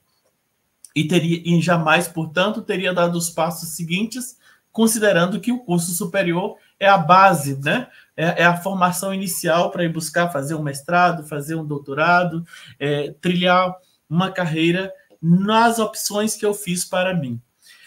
É, eu queria também destacar a importância de disciplinas, né? Que a gente está falando de uma disciplina, a partir de disciplinas dentro de um curso de graduação e também na, na, na, na graduação tem esse mesmo movimento, disciplinas que a gente também não imaginava presentes na composição curricular, como componente curricular. Né? Disciplinas que discutem desde eh, as questões etnorraciais, inclusão de modo geral, as diferentes perspectivas de inclusão, disciplinas de educação de jovens e adultos, por exemplo, e tantas outras disciplinas que são constituídas, forjadas no bojo da luta, fruto desse conhecimento que eu vinha falando. É, alguém ou alguém, colocando, inventando uma palavra, que se debruçou sobre, estudando um fenômeno praticado, exercido, experimentado por grupos dentro de uma sociedade e que traz pra, para o, o, o bojo dos cursos um debate como um debate formalizado, não como é, não na perspectiva de estudo periféricos, né, mas na, estudo, na centralidade, disciplina na centralidade como componente curricular. Linhas de pesquisa nos programas de pós-graduação, grupos de pesquisa, programas, um programa que trata de diversidade, não precisa mais nada, né? Um programa de pós-graduação que é sobre educação e diversidade.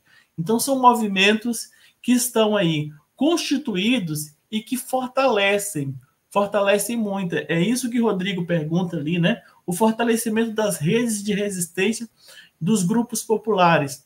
A gente tem, por exemplo, aqui no, no, no âmbito de uma disciplina chamada Educação do Campo e popular como política pública. Por exemplo, na pós-graduação, ministrada pela professora Arlete Ramos e também, em algumas vezes, já também pela professora Tatiane, é, nossa querida Tati aqui, é, que tem recebido, tem trazido para cá justamente temáticas que são experimentadas lá nas, nas ecologias do cotidiano dessas pessoas.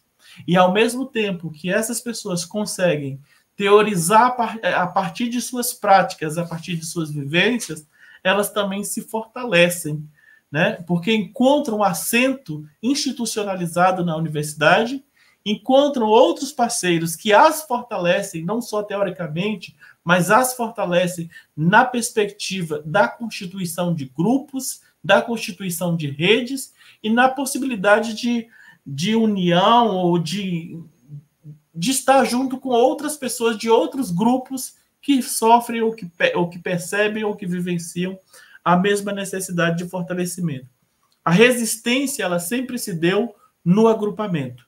Por isso a universidade é, é tem essa relevância, porque agrupa as pessoas, discutem as realidades, teorizam essas realidades e pensam alternativas, pensam proposições, formas de enfrentamento. Essas formas de enfrentamento, no âmbito das escolas, podem virar currículo, no âmbito do debate, podem virar políticas públicas, no âmbito mais geral, pode constituir novas formas, diferentes formas de pensar, de, de conceber a realidade. Por isso que muitas das coisas que, que em poucas décadas atrás a gente considerava estranhas, hoje a gente já naturaliza. E há o processo da construção do conhecimento e a sua consolidação implica a naturalização de coisas boas, assim como coisas ruins já foram historicamente naturalizadas. Assim como o preconceito racial historicamente foi naturalizado, o oposto disso precisa ser naturalizado.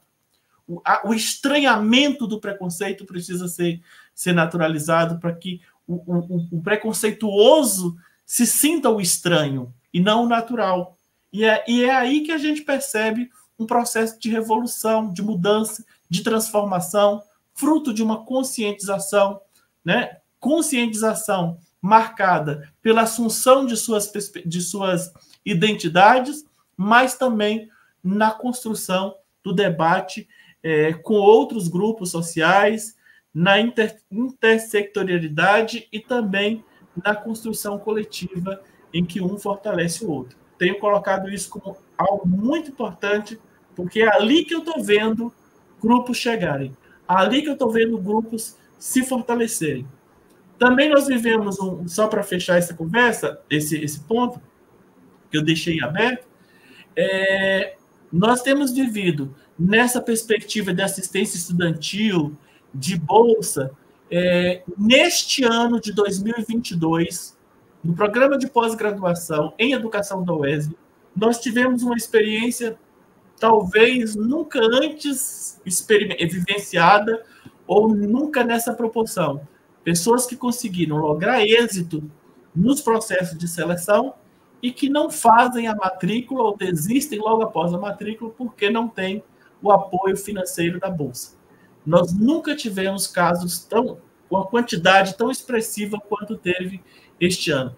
Casada essa situação com, um com uma, uma, uma situação geral do país em que se agrava a fome, em que se agrava o desemprego, em que se agrava o, o pensamento anti-ciência, em que se agrava o, o, todas as formas de preconceito no, no, retrocesso que não tem, não tem tamanho.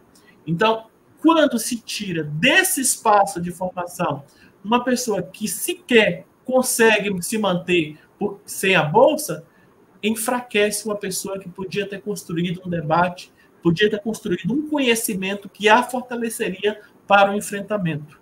Enfraquece, portanto, a luta dos movimentos, enfraquece a luta das pessoas que estão lá nas camadas menos favorecidas, com menor condição, menor poder aquisitivo e presentes e, e, e que era e que vinha sendo um movimento for, forte para nós. É um pouco isso. Oh, é... Edu, você viu que tem duas, duas perguntas, perguntas aí? Tenho, tenho vi sim. Duas perguntas, elas estão direcionadas para a Rosane. Eu vou fazer aqui, viu, Rosane? Marleide, é essa é uma, coloca. Né, Rosane comentou sobre os alunos que estudam e trabalham né, e tem pouco tempo para o estudo. Diante disso, como pensar esses alunos na pesquisa, por exemplo? E aí, Marion vai também dizer é, que você considera que a extensão pode contribuir para se discutir o próprio currículo? São essas duas últimas questões que nós temos aqui. Aí eu. Marião de São, de São Luís, viu, Maranhão? Pois é. Estamos longe. Aí, Rosane, eu, eu é... Então, sobre a primeira pergunta, né, em relação à pesquisa, eu vou, eu vou responder numa perspectiva acadêmica e, com, e depois administrativa, sabe? Pensando na política da universidade. Numa perspectiva acadêmica, é, eu acho que a gente vive, assim, por conta, inclusive, dessa é, é, é, desse processo de colonização que a gente vive, né? Que a gente, a gente que, que nos, é, nos é afetado, é, a, gente, a gente construiu uma imagem de pesquisador, né? Primeiro pesquisador homem, então não é pesquisadora, é pesquisador, um homem branco, é, católico, é, heterossexual, tá bom? Então, machista, então, esse homem, é, ele é um cara super inteligente. Então, é, é para poucos a pesquisa, Cláudio. É para poucos. é super inteligente e ele precisa estar, tá ele está num gabinete para pensar o mundo e fazer proposições verdadeiras sobre esse mundo, né? Que o cerca, que ele não está, que assim, que, que, que de forma, enquanto exercício metodológico, ele, ele não faz parte desse mundo, ele precisa estar afastado desse mundo para pensar sobre esse mundo. Então é um, é um pesquisador, inclusive, só somente, só cérebro, só alma ele não tem corpo. Mas, enfim, então a gente construiu essa ideia de pesquisa. E aí, quando a gente. Aí, o, que, a gente o que, a gente poderia pensar dentro da universidade né, sobre isso? Que é, nós, professoras, professores, técnicos e técnicas, também estão fazendo pesquisa, porque a UNEB está sendo uma está mudando a lógica do papel do técnico administrativo na universidade, porque eles, essas pessoas estão fazendo os mestrados, estão fazendo o doutorado estão rasurando o lugar que construíram para eles na universidade. Então, essas, esses servidores, ao fazer pesquisa, eles não precisam exatamente é, montar um projeto e falar e colocar assim que só vai participar quem vai concorrer a IC. Não precisa porque quando você coloca que só vai chamar IC, alunos de iniciação científica, você está dizendo, você está excluindo os estudantes trabalhadores, que não podem concorrer para IC porque eles são assalariados. Então, eles não podem receber bolsa. Agora, não é grande assalariado, não. Assalariado com salários baixos, tá? Então, assim, essas pessoas precisam também vivenciar a pesquisa, mesmo não possibilitando estar em C. Então, a gente precisa abrir da mesma forma que a gente faz projetos de extensão para quem tiver interesse e implicação, a pesquisa também tem que ser tomada dessa forma, entende? A gente já viveu muito isso. Eu acho que a UNEB tem muitos movimentos nesse sentido. Mas a gente precisa até nos pensar mais em relação a como promover, como possibilitar pesquisas dentro do departamento que não sejam apenas para os ICs ou para aqueles voluntários né, do IC, mas sim qualquer pessoa que queira participar. Não precisa ter nomenclatura, tá? E, ter, e pensar várias perspectivas de participação, tá? Como é que eu estou falando isso? Se eu faço. E aí tem uma outra dimensão que é da parte do estudante ou da estudante, que é pensar. É muito mais é, apaixonante, fascinante mesmo, fazer pesquisa a partir do seu lugar. Ou seja, ter uma voz encarnada, tá? Nos seus é é, é, é, é, na sua pesquisa de campo, tá? Do que fazer algo bem distante de você. Então, quanto mais próximo você partir, é, você fazer a sua pesquisa a partir do seu lugar, mais, mais também mais, é, como dizer assim, mais fácil, vou botar mesmo essa palavra fácil, no sentido da facilidade em relação às condições concretas de existência, tá? Não em relação à cognição, é questão concreta de existência. Então, eu acho que tem esses dois movimentos acadêmicos aí, que é os servidores pensarem em projetos de pesquisa mais é, menos instituídos por essa lógica do IC. Essa lógica do IC é das universidades públicas federais e nós estaduais assumimos, né? Então a gente tem que pensar outra lógica. E os estudantes é, é, pesquisar a partir desse lugar implicado. Agora, em termos de gestão, em termos de gestão, é, a gente precisa, e aí eu volto a falar sobre o CEAPIP, eu não sei se Domingos e Dinalva conhecem o Centro de Inovação Pedagógica, que é um centro de pesquisa é, que vai, vai receber, já, já começou a receber esse ano, recurso direto para pensar, para lançar editais de projeto de formação docente e formação dos professores da própria universidade a partir do seu lugar, do seu lugar, é, do seu local de trabalho, a partir das suas próprias inquietações. Então, não é nenhum tipo de, de formação de cima para baixo, sabe? Do tipo assim, isso aqui que você tem que aprender. Não. Você aprende a partir da sua própria experiência, que até Cláudio falou muito bem na fala dele sobre experiência. Então, baseado na própria experiência, que a gente deve pensar nossa formação. Então, ações como o CEAPIP, né? Instâncias como o CEAPIP que foram criadas, se eu não me engano, recebeu esse ano meio, meio milhão para esse, esse edital que vai ser lançado há pouco aí. um edital pró-docência, se, eu não, se eu não me engano. É, é, são movimentos importantes para esse professor começar a alterar o currículo, a pensar a pesquisa mais atrelada ao currículo. Quer ver outra questão? A gente pensa as disciplinas, os componentes, às vezes, muito na dimensão da, do ensinar, né? Da ensinagem. E a gente não pensa como um espaço de pesquisa. Poderia ser um espaço de pesquisa, um espaço de experiências de pesquisa. Então, pensar possibilidades diante do que está posto e sair dos modelos hegemônicos, eu acho que é um caminho interessante para a gente incluir as pessoas reais, os corpos reais que estão nos corredores da universidade, né? Eu acho que isso aí seria um caminho. E um outro, rapidinho, que eu quero colocar, é que a gente está pensando em outras formas de apoio a estudantes trabalhadores na extensão e na pesquisa. Entende? Porque essas pessoas não podem receber bolsa. É fato. Só que elas contribuem bastante, elas fazem pesquisa e extensão na universidade. Então, como lidar com isso? A gente está construindo possibilidades jurídicas que a gente possa construir apoio sem ser bolsa. E a outra pergunta, é, Domingos, que é como a extensão pode mexer no currículo, fazendo debates, né? A gente, a gente acabou de fazer uma plenária com os bacharelados. Depois a gente vai fazer reuniões mais específicas com as áreas, né, de conhecimento. Depois plenárias territoriais para que a gente possa compartilhar as experiências da licenciatura com o bacharelado e com as experiências também de curricularização da extensão da pós-graduação. Então, quanto mais a gente está junto para debater ideias, ou seja, espaços de debate, mas a gente pode pôr em crise, e aí eu botei o pode, viu, Cláudio? Porque nem todo mundo se coloca em crise e, que, e a gente não pode naturalizar essas pessoas, tem que apontar mesmo, né? Constranger. E a gente tem que botar mesmo. A ideia é que a gente pode se colocar em diálogo, é no diálogo, e aí eu não estou nem acionando Paulo Freire nesse diálogo, estou pensando na perspectiva hermenêutica, mas eu acho que dialoga com Paulo Freire também em diálogo, no diálogo, a gente se coloca em crise e se refaz juntos.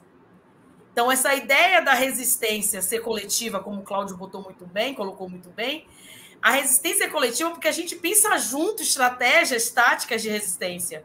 Não dá para pensar ações pontuais, né?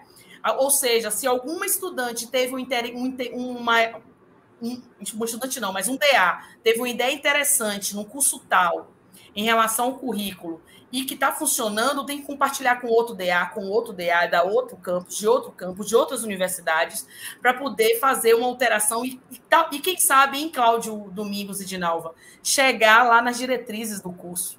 Porque pode você. É, é com esses movimentos que você faz política, né? As políticas públicas, elas não são feitas em gabinete, né? Só as de Bolsonaro. Fora Bolsonaro, não posso esquecer. Lula em 2023. Ok, obrigado. É, Cláudio, quer, quer complementar? É, só, só dizer, estou é, bastante contemplado, estou feliz com, com a perspectiva de trabalho de, de, que a ProEx da UNEB traz. É, eu tenho acompanhado muitos projetos desenvolvidos por aí, tenho ouvido muitas notícias boas, e me alegra. Me alegra, sobretudo, por essas perspectivas de resistência mesmo de fortalecimento e construção de frentes e redes que dão expectativas, esperanças, vontades e animam outras pessoas. É, eu, eu gosto muito de algumas, algumas formas de expressão que mostram os caminhos que a gente enfrentou, e por isso muitas vezes eu até falo muito como depoimento né? E hoje foi muito assim, justamente porque, por exemplo, quando eu cheguei e me matric... quando eu cheguei a estar matriculado num curso de mestrado em educação e pesquisa, eu achava que até ali eu achava que não era um lugar para mim. Eu achava que não era um lugar que eu alcançaria. Né? E quando a gente alcança e naturaliza isso, e chama para outras pessoas participarem e compreenderem esses processos, a gente fortalece também essas pessoas que estão nesses lugares, muitas vezes, vezes construindo um debate extremamente relevante, mas que não está na abrangência de alcançar outras pessoas, não tem a legitimidade, é, a legitimação institucional e termina ficando no silêncio quando pode ser trazido para cá. Quando a gente vai lá em, em, em, aprendendo com Boaventura Souza Santos, vai nesses grupos e chama, para, chama esses grupos para os lugares do centro, esses grupos periféricos para o centro, trazer os movimentos para os centros numa perspectiva de ecologias ecologia de, de, de, saberes, e eu acrescentaria de conhecimentos mesmo, a gente possibilita, portanto, o compartilhamento de ideias, a troca de ideias. E a troca de ideias a partir de, de, das próprias práticas, mas constituindo também compreensões teóricas fortalecidas. Eu gosto muito de trabalhar na lógica de que as coisas precisam ser ditas, precisam ser pronunciadas e precisam ser divulgadas. Eu sou um servidor público, usando esse termo, né, que eu sou um, um, um professor universitário de universidade pública, eu sou um servidor público. No âmbito do meu trabalho, aquilo que eu faço, eu gosto e compreendo que precisa ser divulgado, por isso eu publico, publico nas redes sociais, publico nas revistas científicas, eu vou para as rodas de conversa, eu vou para a cena do, da, do debate, localmente, nacionalmente, internacionalmente, onde, onde se for para falar das coisas que eu desenvolvo, eu falo até japonês se for preciso, mas compreendo que a gente precisa entregar para a sociedade, porque essa entrega socializa o, o, a, a, potência que é aquilo que a gente faz. Que pode não ser potência para toda a gente, mas é potência para alguns, serve para alguns. E aqueles que se mobilizam a partir daquilo que a gente pesquisa, que a gente ensina e que a gente, de todo modo, estende, faz chegar e mobiliza essas pessoas, é extremamente é, importante, especialmente na universidade de interior, especialmente no, no mundo em que a gente vive a necessidade de, de constituir espaços para as vozes que muitas vezes não estão claramente pronunciadas, liber, livremente pronunciadas. Por isso, hoje, a gente diz assim: esse é um lugar de todos nós, a universidade é um lugar de todos nós. Não estranhe estar no lugar. Diga que esse lugar é seu e assuma esse lugar, pise lá e demarque esse lugar. Isso é extremamente importante. E quando a gente está falando isso aqui num ambiente é, que certamente estão aí estudantes universitários, e é, para que esses estudantes universitários também mobilizem os seus espaços nessas constituições de redes de fortalecimento. Ontem fiquei sabendo de um estudante pobre, gay, que tinha assumido um espaço na universidade como, como estudante aí no campus de Guanambi, na, na, na área de administração, de educação física. Fiquei muito feliz quando vejo essas pessoas para quem o futuro só, só apresenta desafio e ela chega à universidade e entra e dali constrói histórias histórias de, de resistência, mas, sobretudo, histórias de superação nesse contexto da resistência. Muito feliz registro isso. Ok, Cláudio. É, a gente está, né, Dinalva, acho que a gente está chegando aí para o final. É, antes de passar a palavra para você, Dina, eu queria só dizer o seguinte, é, que as falas, né, eu acho que elas foram provocadoras, né, elas foram contra-hegemônicas e decoloniais, né, e mostraram como que a universidade ela vem se constituindo nessa perspectiva de, de rever os seus processos, né? E aí é, eu não vou fazer é, comumente até como, como um mediador faz, né, de, de sintetizar o que foi dito, eu vou é, deixar para os nossos convidados, os nossos estudantes, quem é, está aqui conosco até este momento, um, uma questão. Né? Eu tenho dito nas minhas salas, nas minhas turmas, nas minhas andanças, né, que não são todas teorias que me servem, né? É, até porque, e aí, quando Rosane, Rosane fala da questão né, que a gente produz saberes a partir de uma intenção política, né, e essa intenção política ela está articulada também com uma questão teórica, epistemológica, etc. E, tal. e aí eu queria deixar essa pergunta para os nossos alunos, os nossos amigos, os nossos colegas que estão é, aqui é, nos ouvindo, né? É, quais foram as, as fissuras, né, ou as rasuras aqui, usando a palavra né, que o Rosane usou bastante, né, e, e, e deslocamento que as falas é, aqui proferidas por Cláudio e Rosane é, provocaram em vocês. Né? Eu acho que é esse, essa indagação que eu quero deixar para vocês, essa reflexão interna, né? quais foram as, as rasuras, as fissuras, os deslocamentos né, que este debate provocou é, em cada um, em cada uma que está aqui ouvindo a gente. Né? É isso. Depois a gente, os nossos alunos do terceiro semestre, depois a gente retoma em sala de aula a nossa conversa, né? E aí eu passo para você, Dinalva, se quiser fazer mais alguma consideração, alguma questão. Não, só agradecer, Du, dizer que a pergunta que você fez, maravilhosa, né?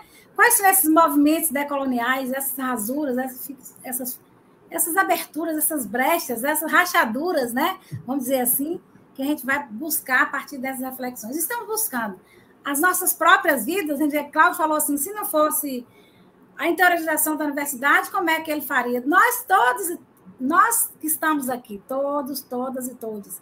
Eu é um exemplo, Cláudio, Rosane, Domingos, e as nossas colegas, os estudantes que estão aí.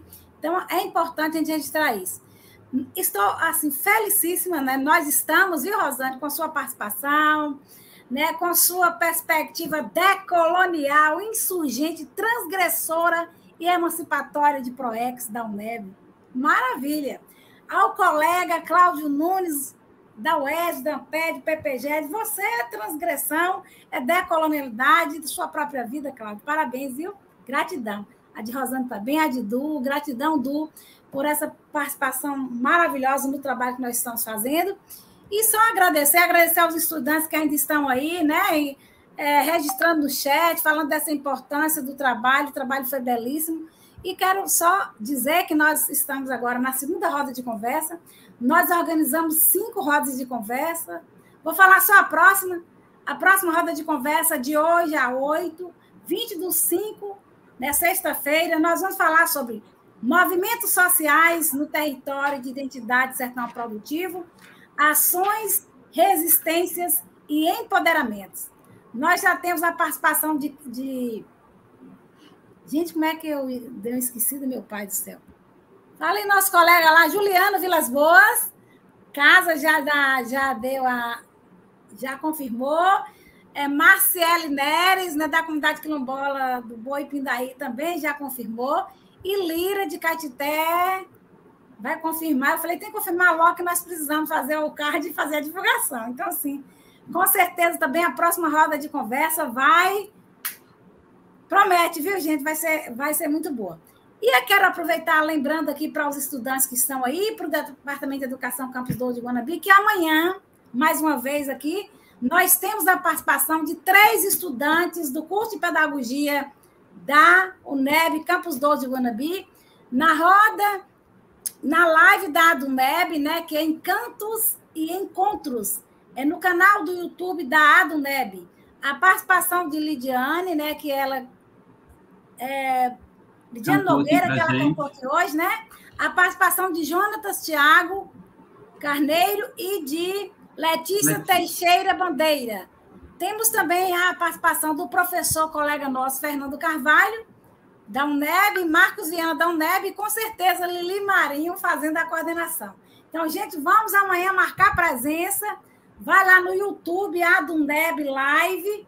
Mas amanhã, a hora que o pessoal programar, eu falei, programe logo, porque eu gosto de divulgar já com link para facilitar aí a, o acesso das pessoas. Só gratidão aí, pessoal, agradecendo mais uma vez aí e falando que a mesa é excelente. Excelente mesmo, gente. Estamos sim, muito felizes. Eu estava tão cansada do Que agora eu não estou mais preocupada, não. Passou. a gente precisa marcar, viu, Rosane? A gente precisa é, retomar aqueles nossos encontros. É, Rosane, quando você, é, quando você vir a Guanabi, Aí eu convido você também para vir à minha casa e a casa de domingos, porque você vai ficar maravilhada com a casa de domingos. É muito linda. De domingos oh, e Nadson, que são os nossos colegas maravilhosos que nós amamos infinitamente. Cláudio, não Quero agradecer. Quero agradecer muitíssimo, viu, a, a energia. Eu estava, inclusive, vocês sabem, né, que eu estou com virose, mas eu melhorei. Você percebeu, Cláudio? Melhorei.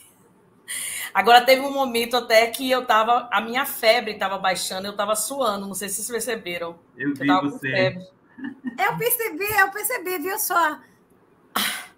Então, quero agradecer muitíssimo e quero só assim fazer um ajuste aqui no texto, no, no comentário de que, que, que o grupo fez aqui. É, a ProEx está no movimento decolonial insurgente porque a gente está nesse projeto né, de universidade que, que não, não, não existe uma proreitoria, mas um grupo, um coletivo que está nesse movimento de repensar a universidade. Não é, não é, não é uma jogada jogar fora o que, o que a gente vivenciou né, nas gestões anteriores, a gente cresceu muito, institucionalizou vários processos, inclusive nas gestões anteriores, mas a gente quer também fazer essa virada. E essa virada é impossível não acontecer, e Cláudio lembrou muito bem, com duas mulheres no maior, nos maiores cargos da universidade, que é a nossa professora Adriana e a professora Daisy.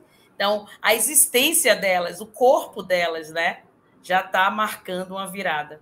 Então, agradecer muitíssimo, um grande beijo e, e, e a ProEx está à disposição para conversar, para discutir, para pensar e, e, e romper as, as, as hegemonias né, que insistem. Um grande beijo, Fátima, colega, parceira aí da gestão da extensão. Um grande beijo, Cláudio. Bom te ver, bom ver, bom também um prazer ter conhecido de Nalva. Bom te ver, Domingos. A gente tem que marcar mesmo nossos encontros etílicos. Pois é. E, e é isso. Um beijo, gente. Beijo. Então, e, e, e, e, também compartilhar com essa garota, com esse pessoal todo aí que participou. É, é tão bom é, estar com estudantes. Eu sinto falta isso da graduação, porque eu ainda mantenho o ensino na pós-graduação, mas na graduação é impossível eu estar. Eu só consigo, eu só oriento alunos da graduação. É isso, um beijo. E você, Cláudio, quer dar uma boa noite aí, Cláudio? Quero agradecer de novo o convite, a oportunidade dessa, de, dessa participação. É, encontro com Domingos, com Rosane. Não vim para cá para discutir desde uma perspectiva teórica, não foi essa a proposição que foi feita, mas com a proposição de falar do movimento decolonial que eu experimento, que eu vivo, e também no sentido de provocar outras pessoas, porque há muito que precisa ser melhor conhecido, melhor experimentado, inclusive pensando em superações que precisam ser feitas. É nessa pegada que eu me despeço, é, provocando as pessoas a enfrentarem seus medos e a superarem essa perspectiva de que a universidade não é um lugar para todos. A universidade é de e para todos. Sejam todos e todas donos desse espaço. Muito obrigado, uma boa noite. Grande beijo. Maravilha, Cláudio. Boa noite. Boa noite tu vai falar Cláudio, alguma coisa? Obrigado. Não só agradecer mesmo aí mais uma vez, Rosane e Cláudio, dizer que foi um prazer mesmo e, e a gente vai é, dialogando aí e, e, surgindo e também transgredindo aí os nossos espaços. Um abraço. Maravilha, gente. Gratidão. Deixa só uma pergunta aqui, que foi é, Mário Lima, de São Luís. Acho que ele perguntou sobre a live. A live é amanhã, às 19 horas no YouTube da Adundeb. E a próxima roda de conversa é de hoje a 8, sexta-feira. Nós vamos divulgar de novo. Inclusive, você assistiu a outra. Ele está assistindo agora a segunda, a São Luís, e vai assistir a próxima, viu, Mário? Na próxima, é Marion Lima, na próxima sexta-feira. Gratidão aí, gente. Boa noite às pessoas que ainda estão aí registrando o chat. Uma boa semana, muita paz. E vamos decoloniar a nossa eleição. Beijos!